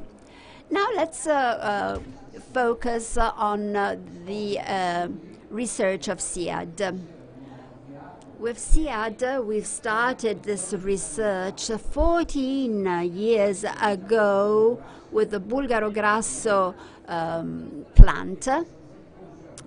And uh, the new uh, tests carried out in San Giuliano confirmed those results, uh, where it was even more difficult to uh, confirm reduction because a textile uh, waste was full of fibers. Nonetheless, we have reduced that fraction, and it's even uh, uh, lower because we have more biodegradable component. So we tried to understand the best dosage to reduce uh, sludge production to the um, the lowest uh, quantity and uh, ozone uh, use and uh, also understand the effects on biomass. And so we have to study that. So these are the main schemes. The first one is uh, receiving the influent and doing ozonization, and then influent from uh, the uh, settling one to the bioreactor, and then uh, ozonization. So this is the setting that was used in uh, Bulgaro Grasso. This is the second um, scheme that we used in San Giuliano. The first effect we uh, saw was a high level of settlability, of sedimentation. So the uh, if uh, uh, we keep a higher MLSS concentration in the bioreactor, and if necessary or convenient, we can operate at a higher sludge age. So we had an SVI from 120 to 75 ml slash GSS. And uh, you remember how this uh, test, uh, uh Michela Peroni, Mr. Calvi, and uh, you know all the uh, collaborators of SIAD. It was an important experience for all of us. Um, so uh, it was uh, a very very important uh, uh, experience for all of us. Then we studied uh, another modeling in uh, order to assess uh, the effects of ozone on biomass by having a setting without ozone and with ozone, engaging in by, um, biomass on respirometric tests. And so the uh, cellular recovery. And we saw the uh, reduction with this respirometer uh, stage, so 0.68 for 0.02. On nitrification, again, we saw that uh, uh, with ozone, the nitrification activity grew, and the interpretation, and uh, uh you will uh, focus on it more and better. So the uh, quantity allows a greater penetration in the flock, and so in the flock, nitrificants are protected by catalases. Uh, because of the bacteria that are on the external part of the flock, and so there is no attack of the ozone. They grow quite well, and in fact, they have a better yield. And then, in terms of percentage, they uh, uh are higher than in normal plants. Now, here the slide is not uh, uh, uh, Uh, has not been designed uh, very easily, uh, and the, the figures uh, do not uh, come up on the slide. anyhow, growth and decay have been tested with respirometric methods, and the growth here was very high at the beginning so as to assess the growth uh, uh, percentage uh, during the day. And then, then the long term tests show that there is a trend to reduction, which is the decay um, trend. And in fact, we saw that the uh, uh, decay coefficient is uh, higher and the growth trend is lower, which means that ozone has an effect on YH. So more uh, energy is consumed and becomes a biomass. Nonetheless, the action uh, kills uh, bacteria.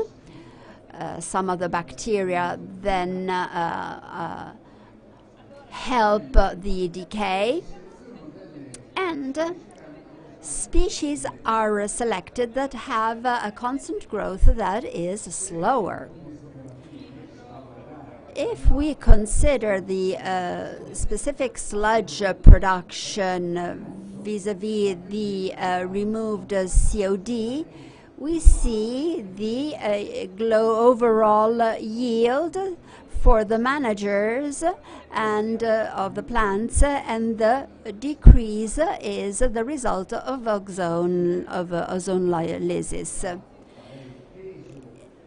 in the end, uh, we uh, assessed all of the uh, causes that could reduce uh, sludge production. So 50% is due to solubilization and oxidation of solubilized particulated CO2.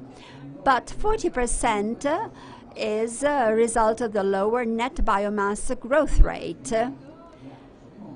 So uh, if we have uh, uh, less births and more deaths, of course, the production has a lower cell growth because of the enzymes that, that protect us from ozone. And uh, by this, I have uh, concluded my presentation. If you have questions, I am here at your disposal and uh, I will uh, reply. Uh, yes, I believe that uh, we have uh, questions coming up. let's see if we see anybody raising their hands. yes, um, Professor Bizzolotti, thank you very much for your presentation. We know each other for, we've known each other for years. So uh, we know the outcomes of the Perform Water uh, project. What about the data vis-à-vis -vis, world uh, literature results? how do these uh, compare? What is the benchmarking? Is there a great delta? Is there uh, uh, an, an, envisaged direction that we may follow? I can say that we are in line with worldwide experiences. initially, ozone levels were extremely high. Now uh, and I will uh, receive uh, the latest figure in terms of uh, doses. But we are up to uh, very, very small doses uh, with reductions uh, by 25 to 50 percent of uh, sludge production. So more ozone, less uh, sludge. In Bulgaro Grasso, in that uh, plant, uh, and it was also carried out in the Lariana Depur uh, plant, they increase the dose of ozone when the price of the sludge that they have to dispose of increases, so as to maintain an economic uh, uh, balance for the company. If it costs 100 euro per ton, I can use that ozone to reduce it. If it's 140 euro, uh, euro I uh, therefore uh, save in this sense. So ozone is used like an, uh, you know, the gas pedal in a car to uh, assess how to uh, spend and save money. So after 14 years of experience here and there and uh, comparing to international uh, data, I would say that for small and medium-sized plants that do not have an aerobic digestion, want to reduce uh, sludge uh, uh, cost, uh, um, this is absolutely a, feasible uh, solution. And this is not uh, um, an advertisement for uh, any company. We've really studied this. Yes, and even the yield figure. 70% of Japanese uh, pen, patents, uh, 10, uh, and then nitrification that was our concern, and phosphorus. So we really saw that if the plant is uh, well designed, there is uh, a 30% that can be um, guaranteed. And so each plant uh, has to be studied so as to achieve the best results.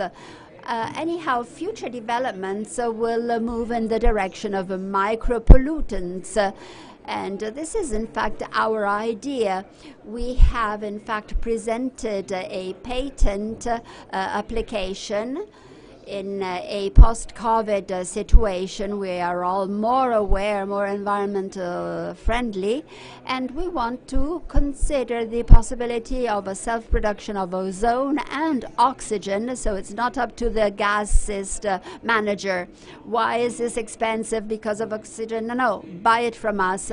So spend less energy, use produce uh, oxygen, you create uh, ozone, and you offer two or three services minimization and water waste, uh, pipelines, um, then uh, recovery.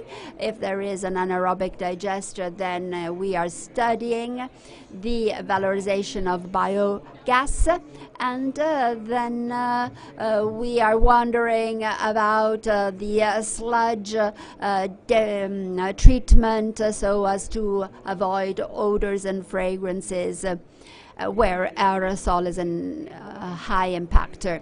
So this is a new life uh, of uh, something that we had studied 20 years ago.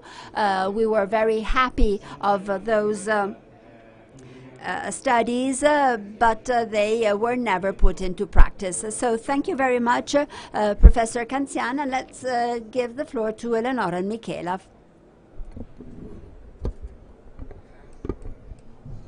Thank you very much to Professor Canziani. And actually, I was reminded of Professor Bonomo.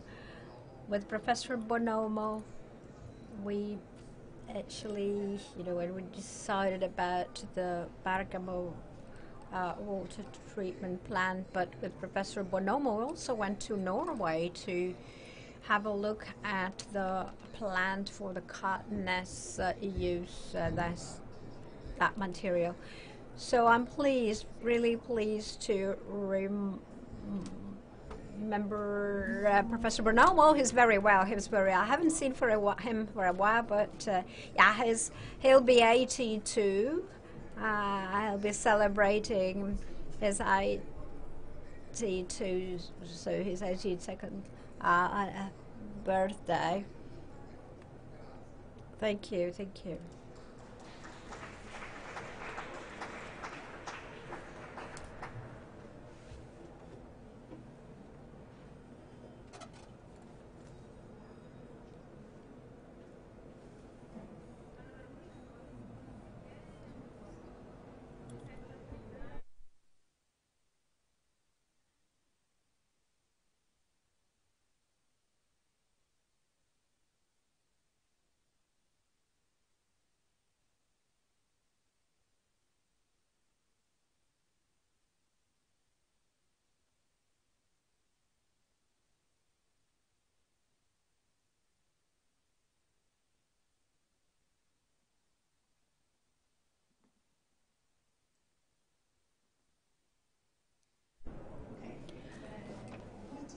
Okay, so uh, last presentation.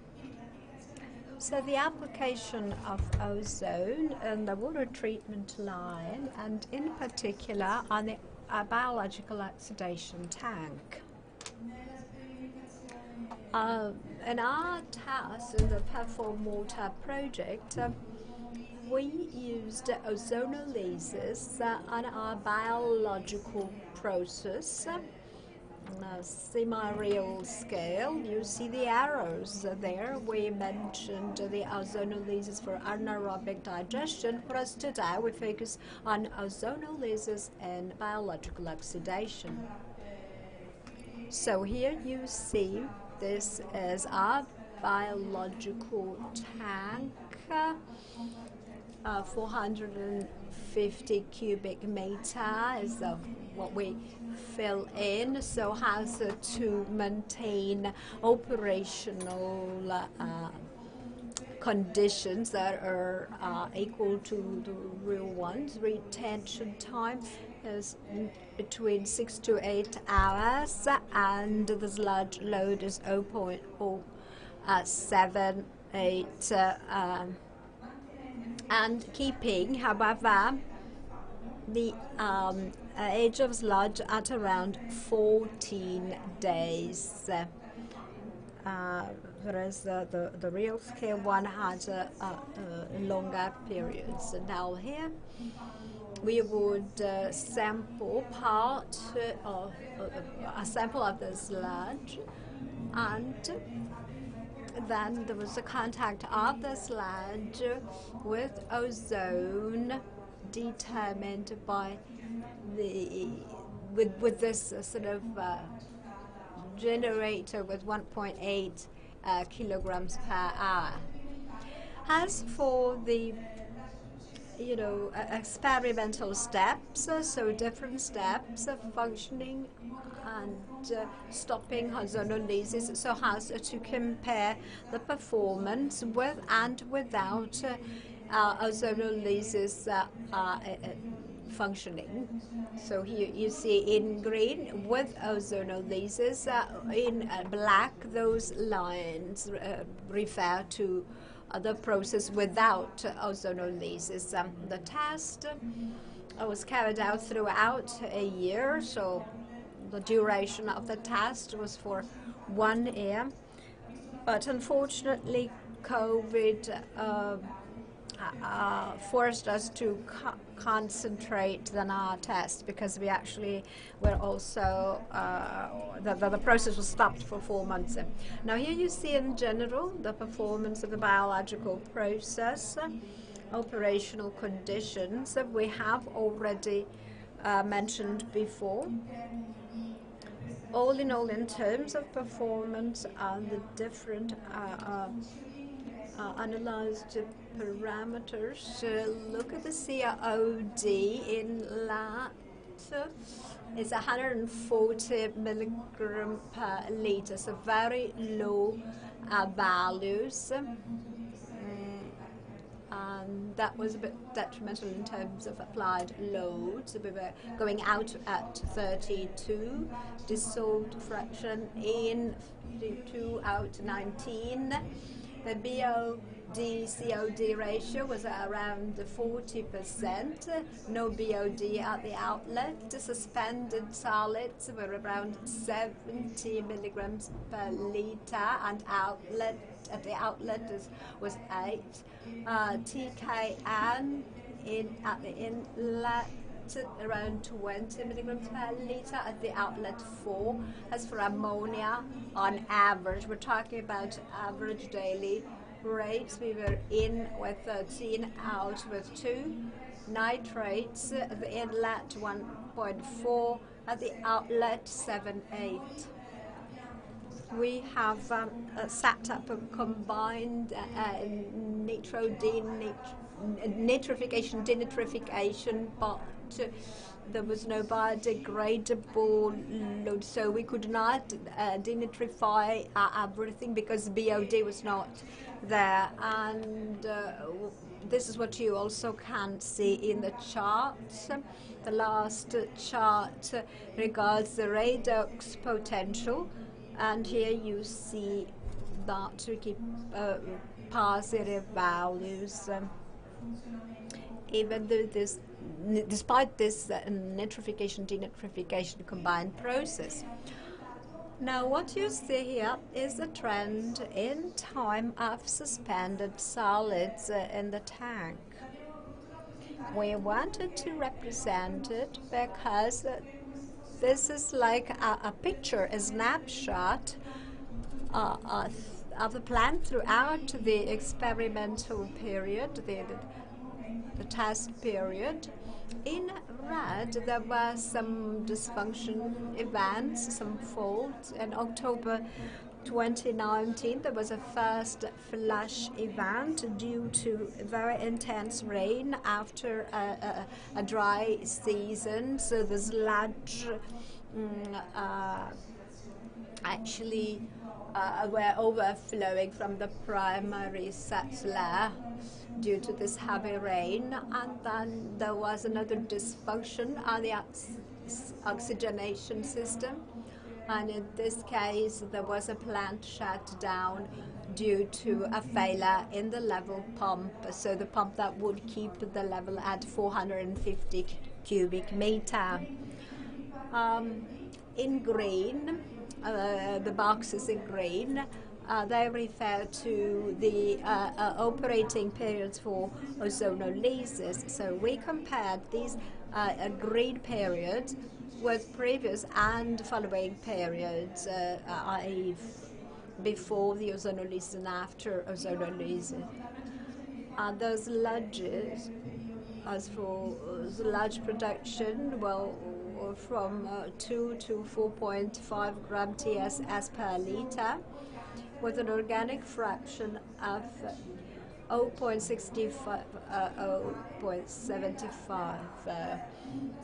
I wanted to uh, highlight the light brown series represents the SVI, the sludge volume index which represents the capability of the sludge to sediment, to settle, therefore to occupy less volume. So once the ozonolysis is switched on, SIV collapses, goes down, and here we, we switch on and it goes up, switches off, and it goes uh, to 200, and then it comes down to 100 when we switch on ozonolysis. So the ozonolysis on sedimentability of the sludge, as Professor, Professor Canziani said, is actually evident and immediate. And this is uh, a significant uh, uh, uh piece of information because this allows us to concentrate sludge so a reduction in the SIV of the order of 15 to 30 percent. And here you see the results uh, that we obtained.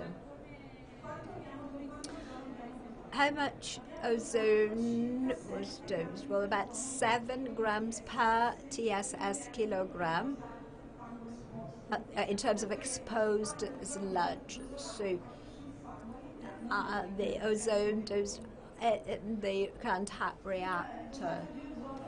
The ozone dosage allowed us to reduce the specific sludge production, i.e. the TSS grams versus the uh, COD removed, the removed COD grams. So no ozonolysis from 0.77 to uh, 042. So a considerable reduction by 39%, a mid reduction in the sludge production by 39%. This reduction varied from 24 to 48 percent. That was the range, 24 to 48 with an average value of 39 percent. We also calculated the, the ozone dosages versus the uh, avoided TSS, so to this is important to assess the sustainability of the process. This tells us how much ozone I need to eliminate a certain quantity of sludge. So this parameter is to be then compared with what I have to sort of spend to dispose uh, of the same quantity of sludge. So if the ozone price is is, la- is lower, then it is worthwhile doing so. And here we're talking about 90 grams per kilogram in terms of TSS avoided, and the range was between 55 to 131. And here in this chart, we see the trend at the different uh, stages and phases of the test. Uh, on the basis of the uh, TSS avoided, so the removed, the COD removed. So we start 0.7 with ozone in green. You see that production uh, decreases.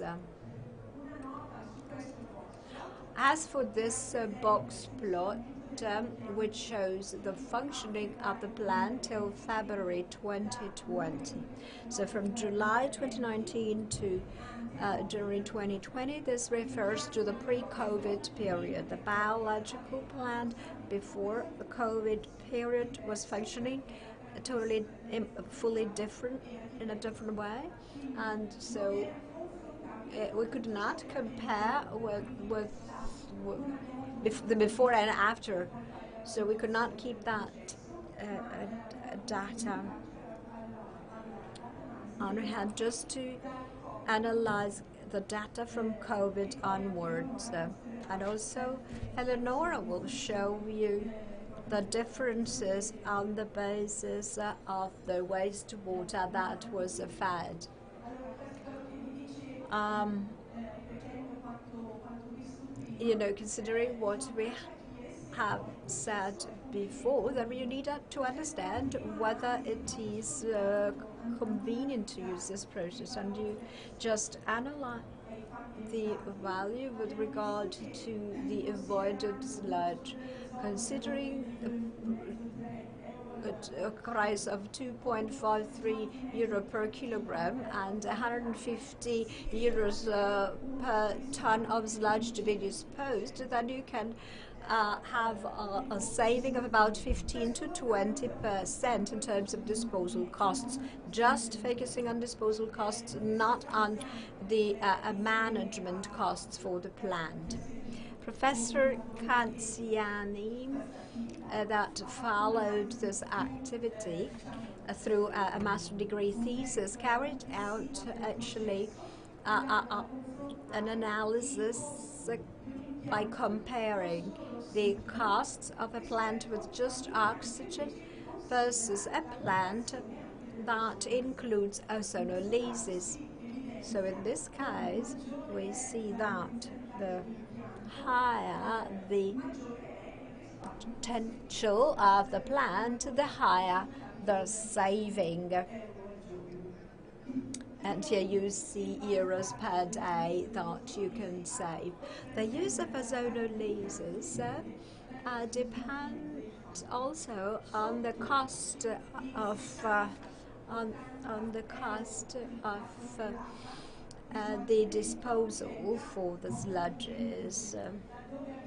So if the disposal costs are over 60, 80 euros, then there is an advantage for it. So we do confirm sustainability. Going back to what we said yesterday, the process has to be looked at uh, uh, in terms of its applicability. And here we confirm that the process is sustainable. So we can say that the higher the disposal cost, the more interesting this process is to uh, uh, achieve a saving. Um, now the floor goes to Eleonora, who will tell us more about this sludge. Yes, as Professor Canziani said, uh, we also performed some lab tests to check that ozone was not interfering negatively on the biomass, uh, mainly in the nitrifying one. But uh, carrying out respirometric tests at lab level, we also as I said before, assess the cell uh, yield uh, and um, so the three first uh, uh, uh, three columns they are up above.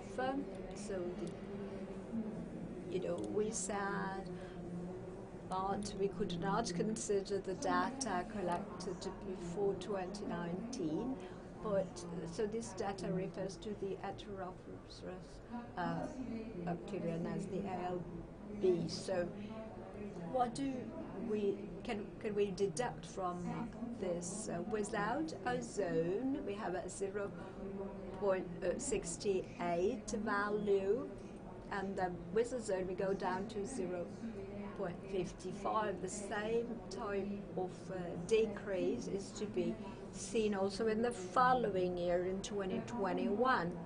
So you see without ozonolysis and with ozonolysis in terms of the growth rate from 6 we go down to 4 from 4 down to 4.5 uh, so this tells us that ozone uh, uh, has an effect on uh, the uh, This is what we actually want to achieve. So ozonolysis, this process that we want to apply, does what it should. So we should to be surprised of the lower yields. This is what we have to expect.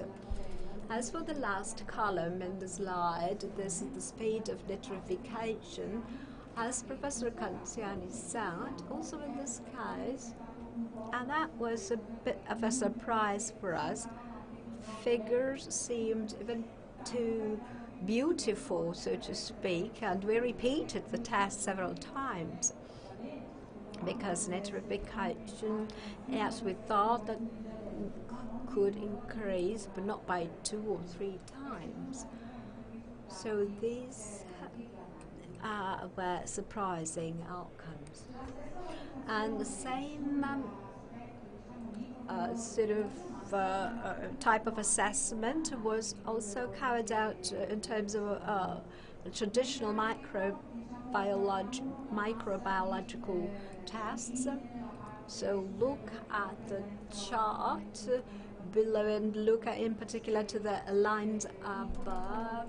You see the coliforms, all of the different uh, uh, bacteria, and we have the pre-COVID and so during and post-COVID, as Michela said, and we have noticed something interesting in terms of the generic bacterial counts. No big variations pre, during, and after COVID, but unexpectedly and it was hard to interpret this, the nitrifying bacteria decreased significantly.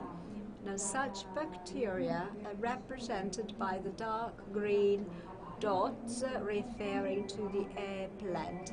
Now, we had to compare with something, so we had to make a comparison. You know, the, the plants are yes similar, but this sludge age is different. And uh, so the the nitrifying uh, with O2 uh, are the boxes uh, in green again. So what we could say is that we have been confirmed by the fact that nitrification mm, uh, was not uh, uh, reduced by the ozonolysis process. Then another assessment that we carried out in the lab to assess whether the nitrifying biomass was inhibited It was carried out by Micol Bellucci uh, in the polytechnics uh, who's now working at ISPRA, and she carried out a more in-depth analysis with advanced molecular techniques to assess whether the uh, uh, uh, the uh, nitrifying bacteria were still sort of in a healthy state before, during, and after ozone, and uh, three to seven percent variation was uh, uh, detected during the ozonolysis versus against the six seven percent that was detected and the biomass that did not go through ozonolysis. So we do have some differences there, but mm, uh, the same sort of uh, uh, range of magnitude, and so uh, we are not have not identified the particular uh, issues in terms of inhibiting the nitrifying biomass. As for the assessment of the biological process, well, we have used optical microscope to look at the so-called microfauna. So bacterial, those that remove uh, the biological uh, So we're talking about a high level here of bacteria.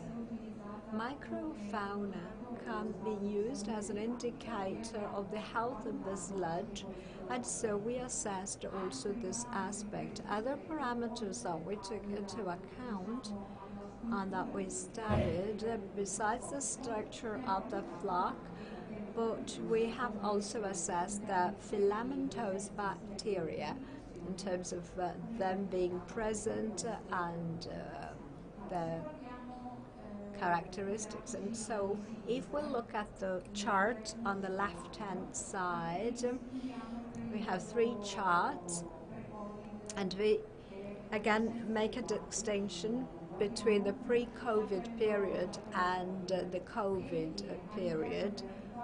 So within the black box, which is the period we're focusing on, we have two green rectangular boxes when ozone was activated. And so we look at the population density in the microfauna and then also the specific diversification of the microfauna and the filamentous bacteria index. This gives an idea of how much bacteria is present in the flocks. In the two periods when ozonolysis was activated, if you look at the trends in red and blue, blue means air plant that was used as a comparison uh, versus uh, the uh, red outcomes for the oxygen tank. So there is not much of a difference. Whereas in the second phase, we started seeing an effect. That is, as for microfauna, no big differences were noticed. If not, when we switched up the second phase of the zone with an increase in microfauna for the oxygen plant.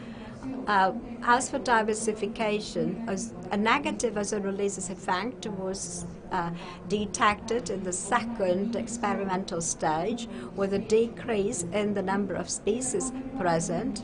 And as for the filamentous bacteria index, so we noticed a slight decrease that was even though significant for one class, class 3, actually class 3 and 4, but of course only for the uh, um, oxygen plant. So what does it mean class 3 and 4? Well, class 3, this means the presence of 20 filamentous bacteria present per flock.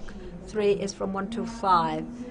So uh, we, we don't notice the, the disappearance. So we are improving the situation vis-a-vis the filamentous bacteria, but not a, big uh, um, impact. Whereas in terms of the uh, VI, we have seen uh, quite an impact. So on this sludge volume index, there was an impact. At macroscopic, microscopic level, here you see the activated sludge. Uh, well, you can detect that effect on filamentous bacteria. Mm. The, the, the, filament is being emptied, uh, for example. So, or maybe filaments with empty spaces, so missing cells in the filamentous bacteria chain. So we could confirm the effect of ozone with the optical microscope. And another effect that we actually detected on microfauna is this.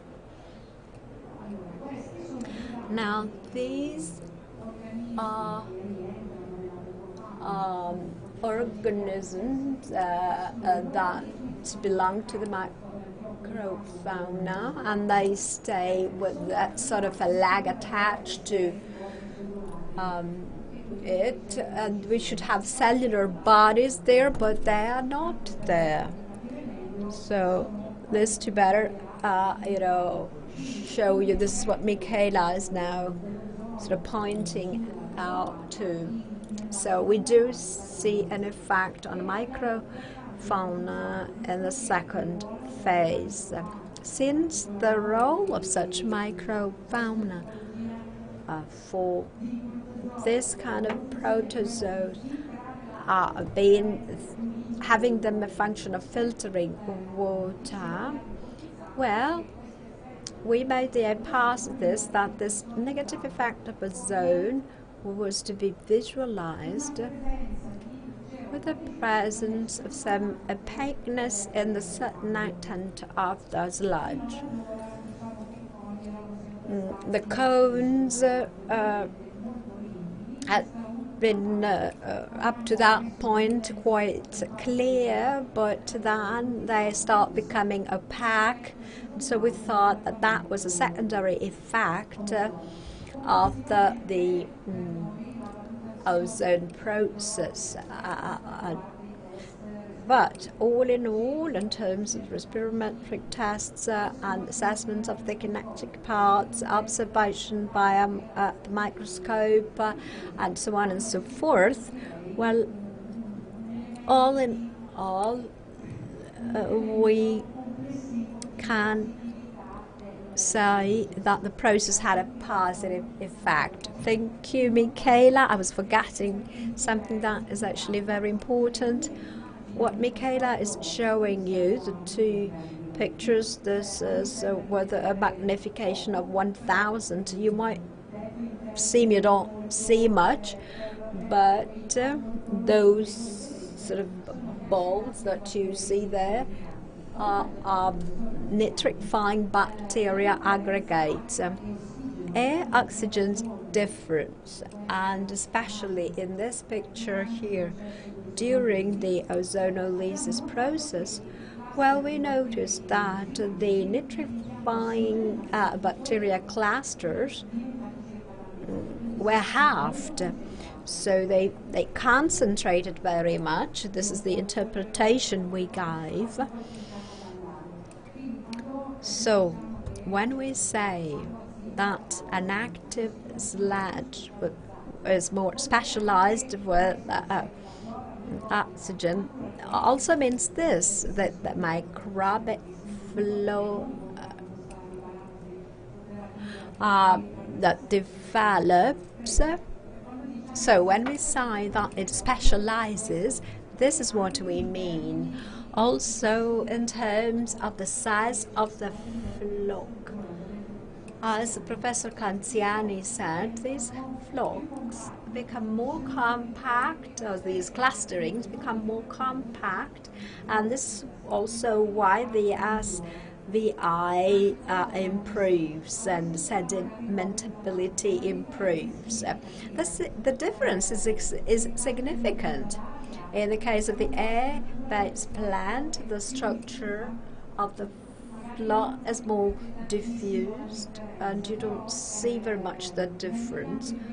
Or, whereas an oxygen plant, the flocks are smaller in size, but that are more compact. And the, the higher SVI in the air plant is not only due to the filamentous bacteria present, sometimes they create bridges um, between the flocks, but they were creating a, a, little bit more open structure, and that bit of ozone allows to decrease by one class the filamentous bacteria so that this flock could be a little bit more compact. This is what we have given as a sort of an hypothesis. So we uh, also uh, attempted an analysis uh, in terms of uh, uh, emerging micropollutants and in uh, the waste of the biological plant and on the sludge. And what we saw is that there is an increase of galaxolide and tonalide in the effluent of the uh, treatment plant with ozonolysis, but no evidence appeared in terms of uh, galaxolidone and also of reduction of contaminants on sludge. So these are some first results that we should go uh, deeper into but nonetheless, uh, we want to uh, convey them to you so as to uh, give a contribution on micropollutants as well. So to conclude,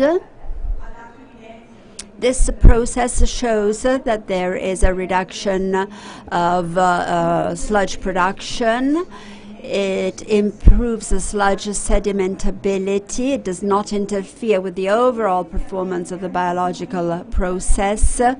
And uh, even if we saw it in some uh, situations, but not throughout the whole experiment, it is potentially possible to uh, see an uh, uh, increase uh, of the um, organic matter that will be dissolved thanks to potentially optimizing the denitrification process and moreover to optimize uh, the biological process, and this is something that we have already uh, conveyed to the audience. Now, what uh, should we envisage for the future? Well, uh, the uh, attempt uh, is that of uh, applying this uh, process on large scale plants and uh, given the fact that we do not have a lot of time, we just tested one dose, uh, the seven uh, grams we spoke about, uh, grams kilo. So it would really be great to uh, uh, try and test various ozone doses and see what we can achieve. Moreover, we would also like, and Professor Canziani has already started this process, uh, we would like to uh, give a model of the whole uh, process, of the overall uh, process of the wastewater uh, treatment plants. and then uh, we launch this provocation, this question where is it better to apply ozonolysis in uh, biological oxidation or in anaerobic digestion? Well, we still don't have uh, a, an, an, answer that goes in the same uh, direction. It depends uh, on uh, the uh, way in which these work, but both have shown a reduction of sludge production. So we have concluded our presentation.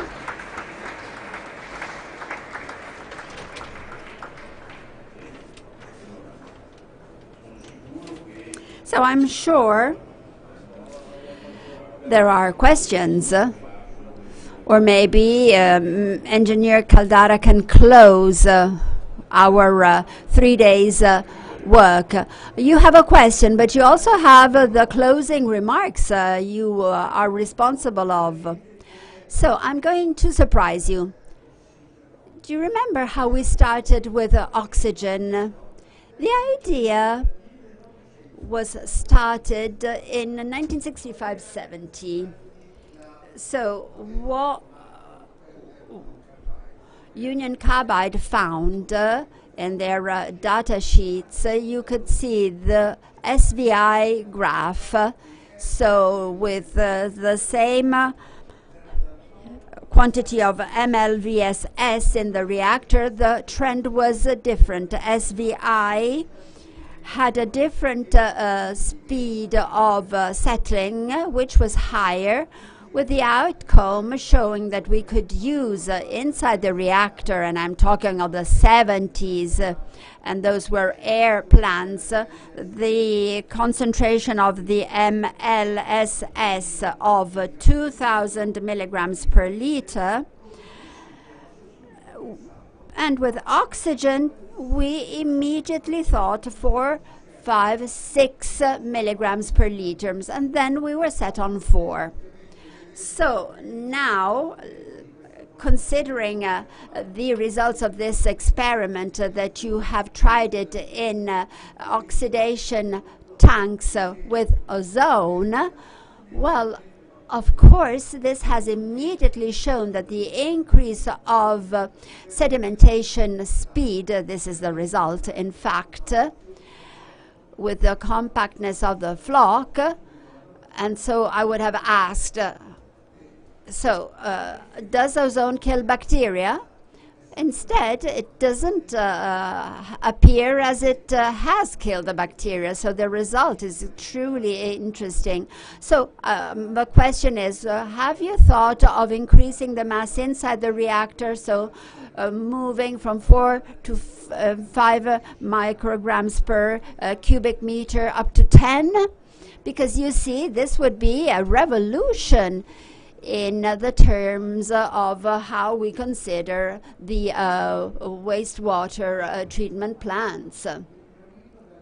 So the increase of uh, bacterial mass is not an advantage because when we increase it, we also increase uh, uh, the inert uh, matter. So it's useless.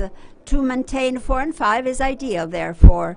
At 10, the viscosity increases, and so the efficient uh, quantity of oxygen decreases. So it's not a convenient decision.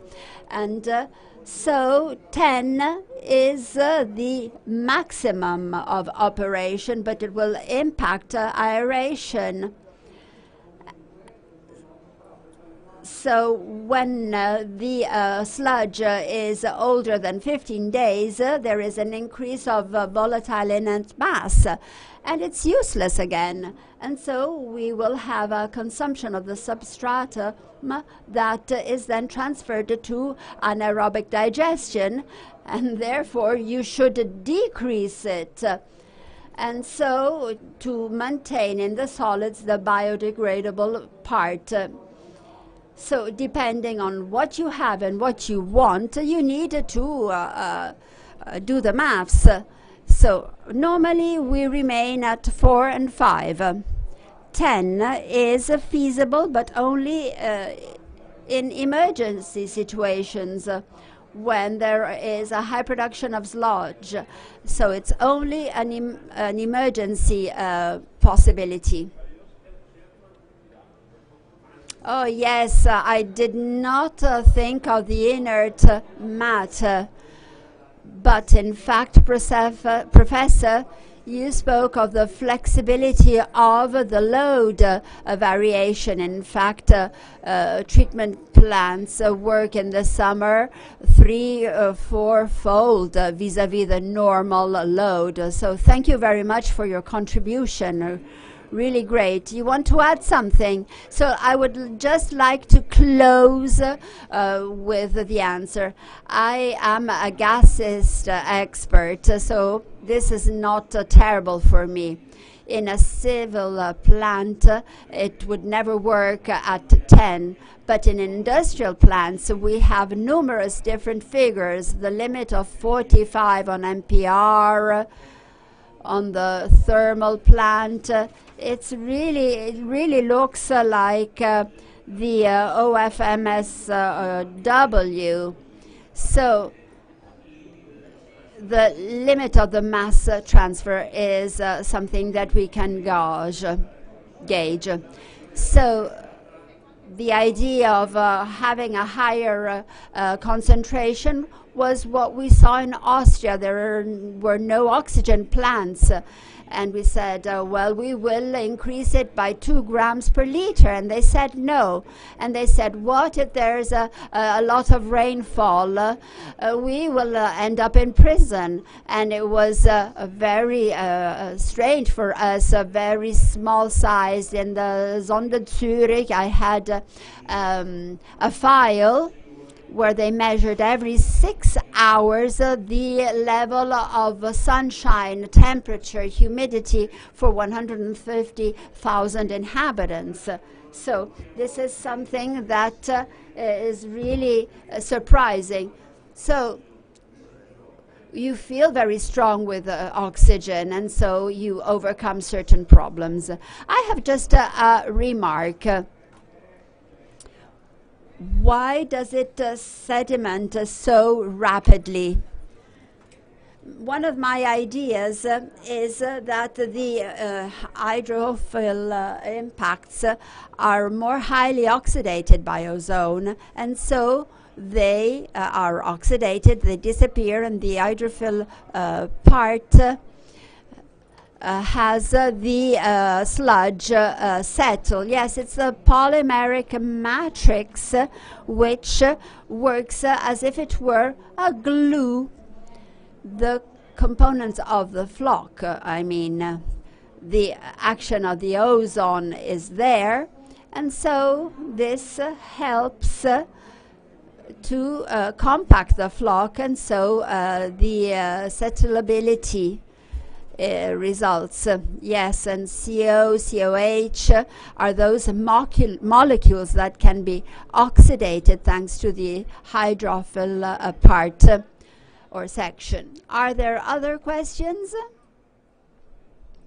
So if there are no further uh, uh, questions, I will sit here with my colleagues. Uh, they have really been a great, competent and skilled. They are great in carrying uh, Uh, out uh, their job. Uh, so thank you very much to the teamwork, uh, Kappa University, the audience, uh, Francesca, and those who are not here. I have not worked on this project, but it has been an ongoing project.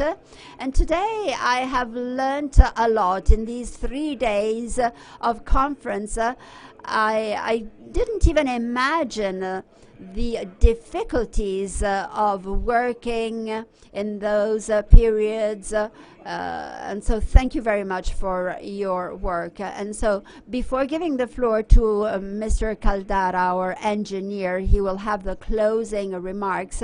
As a hydraulic engineer, I could really compare the needs of the business which is something we cannot do uh, without, and uh, my background, uh, my academic background, and I have kept uh, learning, learning and learning, and it's not that easy, you see, to have a working position that allows you to always be updated. And we're really always uh, very, very careful. We are always, uh, you know, uh, investing in time and money and uh, enthusiasm. We have a lot of drive and passion as a group, and we're really motivated uh, to do our best. So thank you very much, and uh, thank you to our company, SIAD. And now let me leave the floor to the General Director.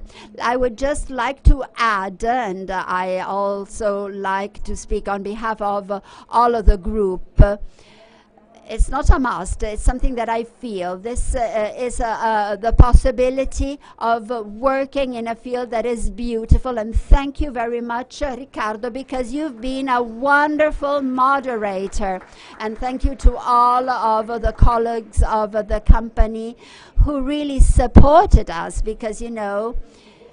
Uh, behind these seven people who have taken the floor, there are so, so many employees uh, who have supported us in HR, technical department, and uh, so thank you, uh, Mrs. Pazinetti. I really uh, would like to underpin that with uh, this uh, conference, uh, we also took uh, uh, made a great decision, i.e., to make available to everybody what we've been uh, working on. I remember Professor Bonomo when we debated initially uh, these. Uh, um, ideas. Why don't we use uh, oxygen uh, in uh, treatment plants? And Professor Bonomo said, uh, well, how can we do that? You are the only company who is focusing on oxygen. So now, today, we make uh, these uh, possibilities available to everybody. So oxygen that can be bought also from other companies. So um, not only treatment plants, but also production plants. So we will start by designing plants and support to plants design and planning. So uh, oxygen and ozone production plants uh, where you can buy uh, ozone and oxygen from. So we, of course, make our machines available, but there are other manufacturers we feel safe and secure in disseminating what we have learned. And uh, we say, uh, okay, let's uh, see which machines are, available uh, and working also with our competitor. So clients and customers should not only depend from our supply. So we also can tell our customers you can go and buy the machines from different companies so that you are not obliged to, uh, you know, being linked to the oxygen uh, supplier. I think this is a great step forward for our company. So we're not uh, one of the greatest companies working uh, uh, in this field but uh, we uh, are offering our know-how and we are amongst uh, the most important companies and best companies uh, working in this uh, field. So thank you very much, Professor Canziani and the Politecnico of Milan that can really do a lot to support us in terms of education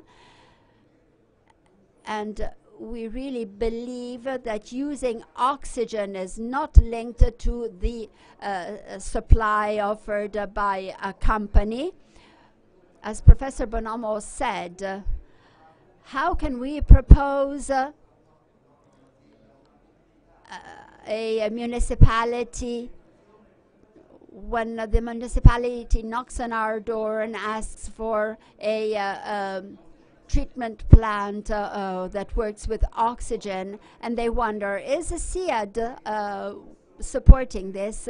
So we want to be free of this idea. We want the, the uh, universities to say that oxygen can be manufactured with machines that are available from many companies, not only us. And then thank you very much to Mrs. Malpei. I'm very sorry that she's not here because I wanted to introduce something new for the uh, future. Mrs. Malpei uh, in the last few years has started saying, why don't you start uh, uh trying hydrogen inside the anaerobic digester?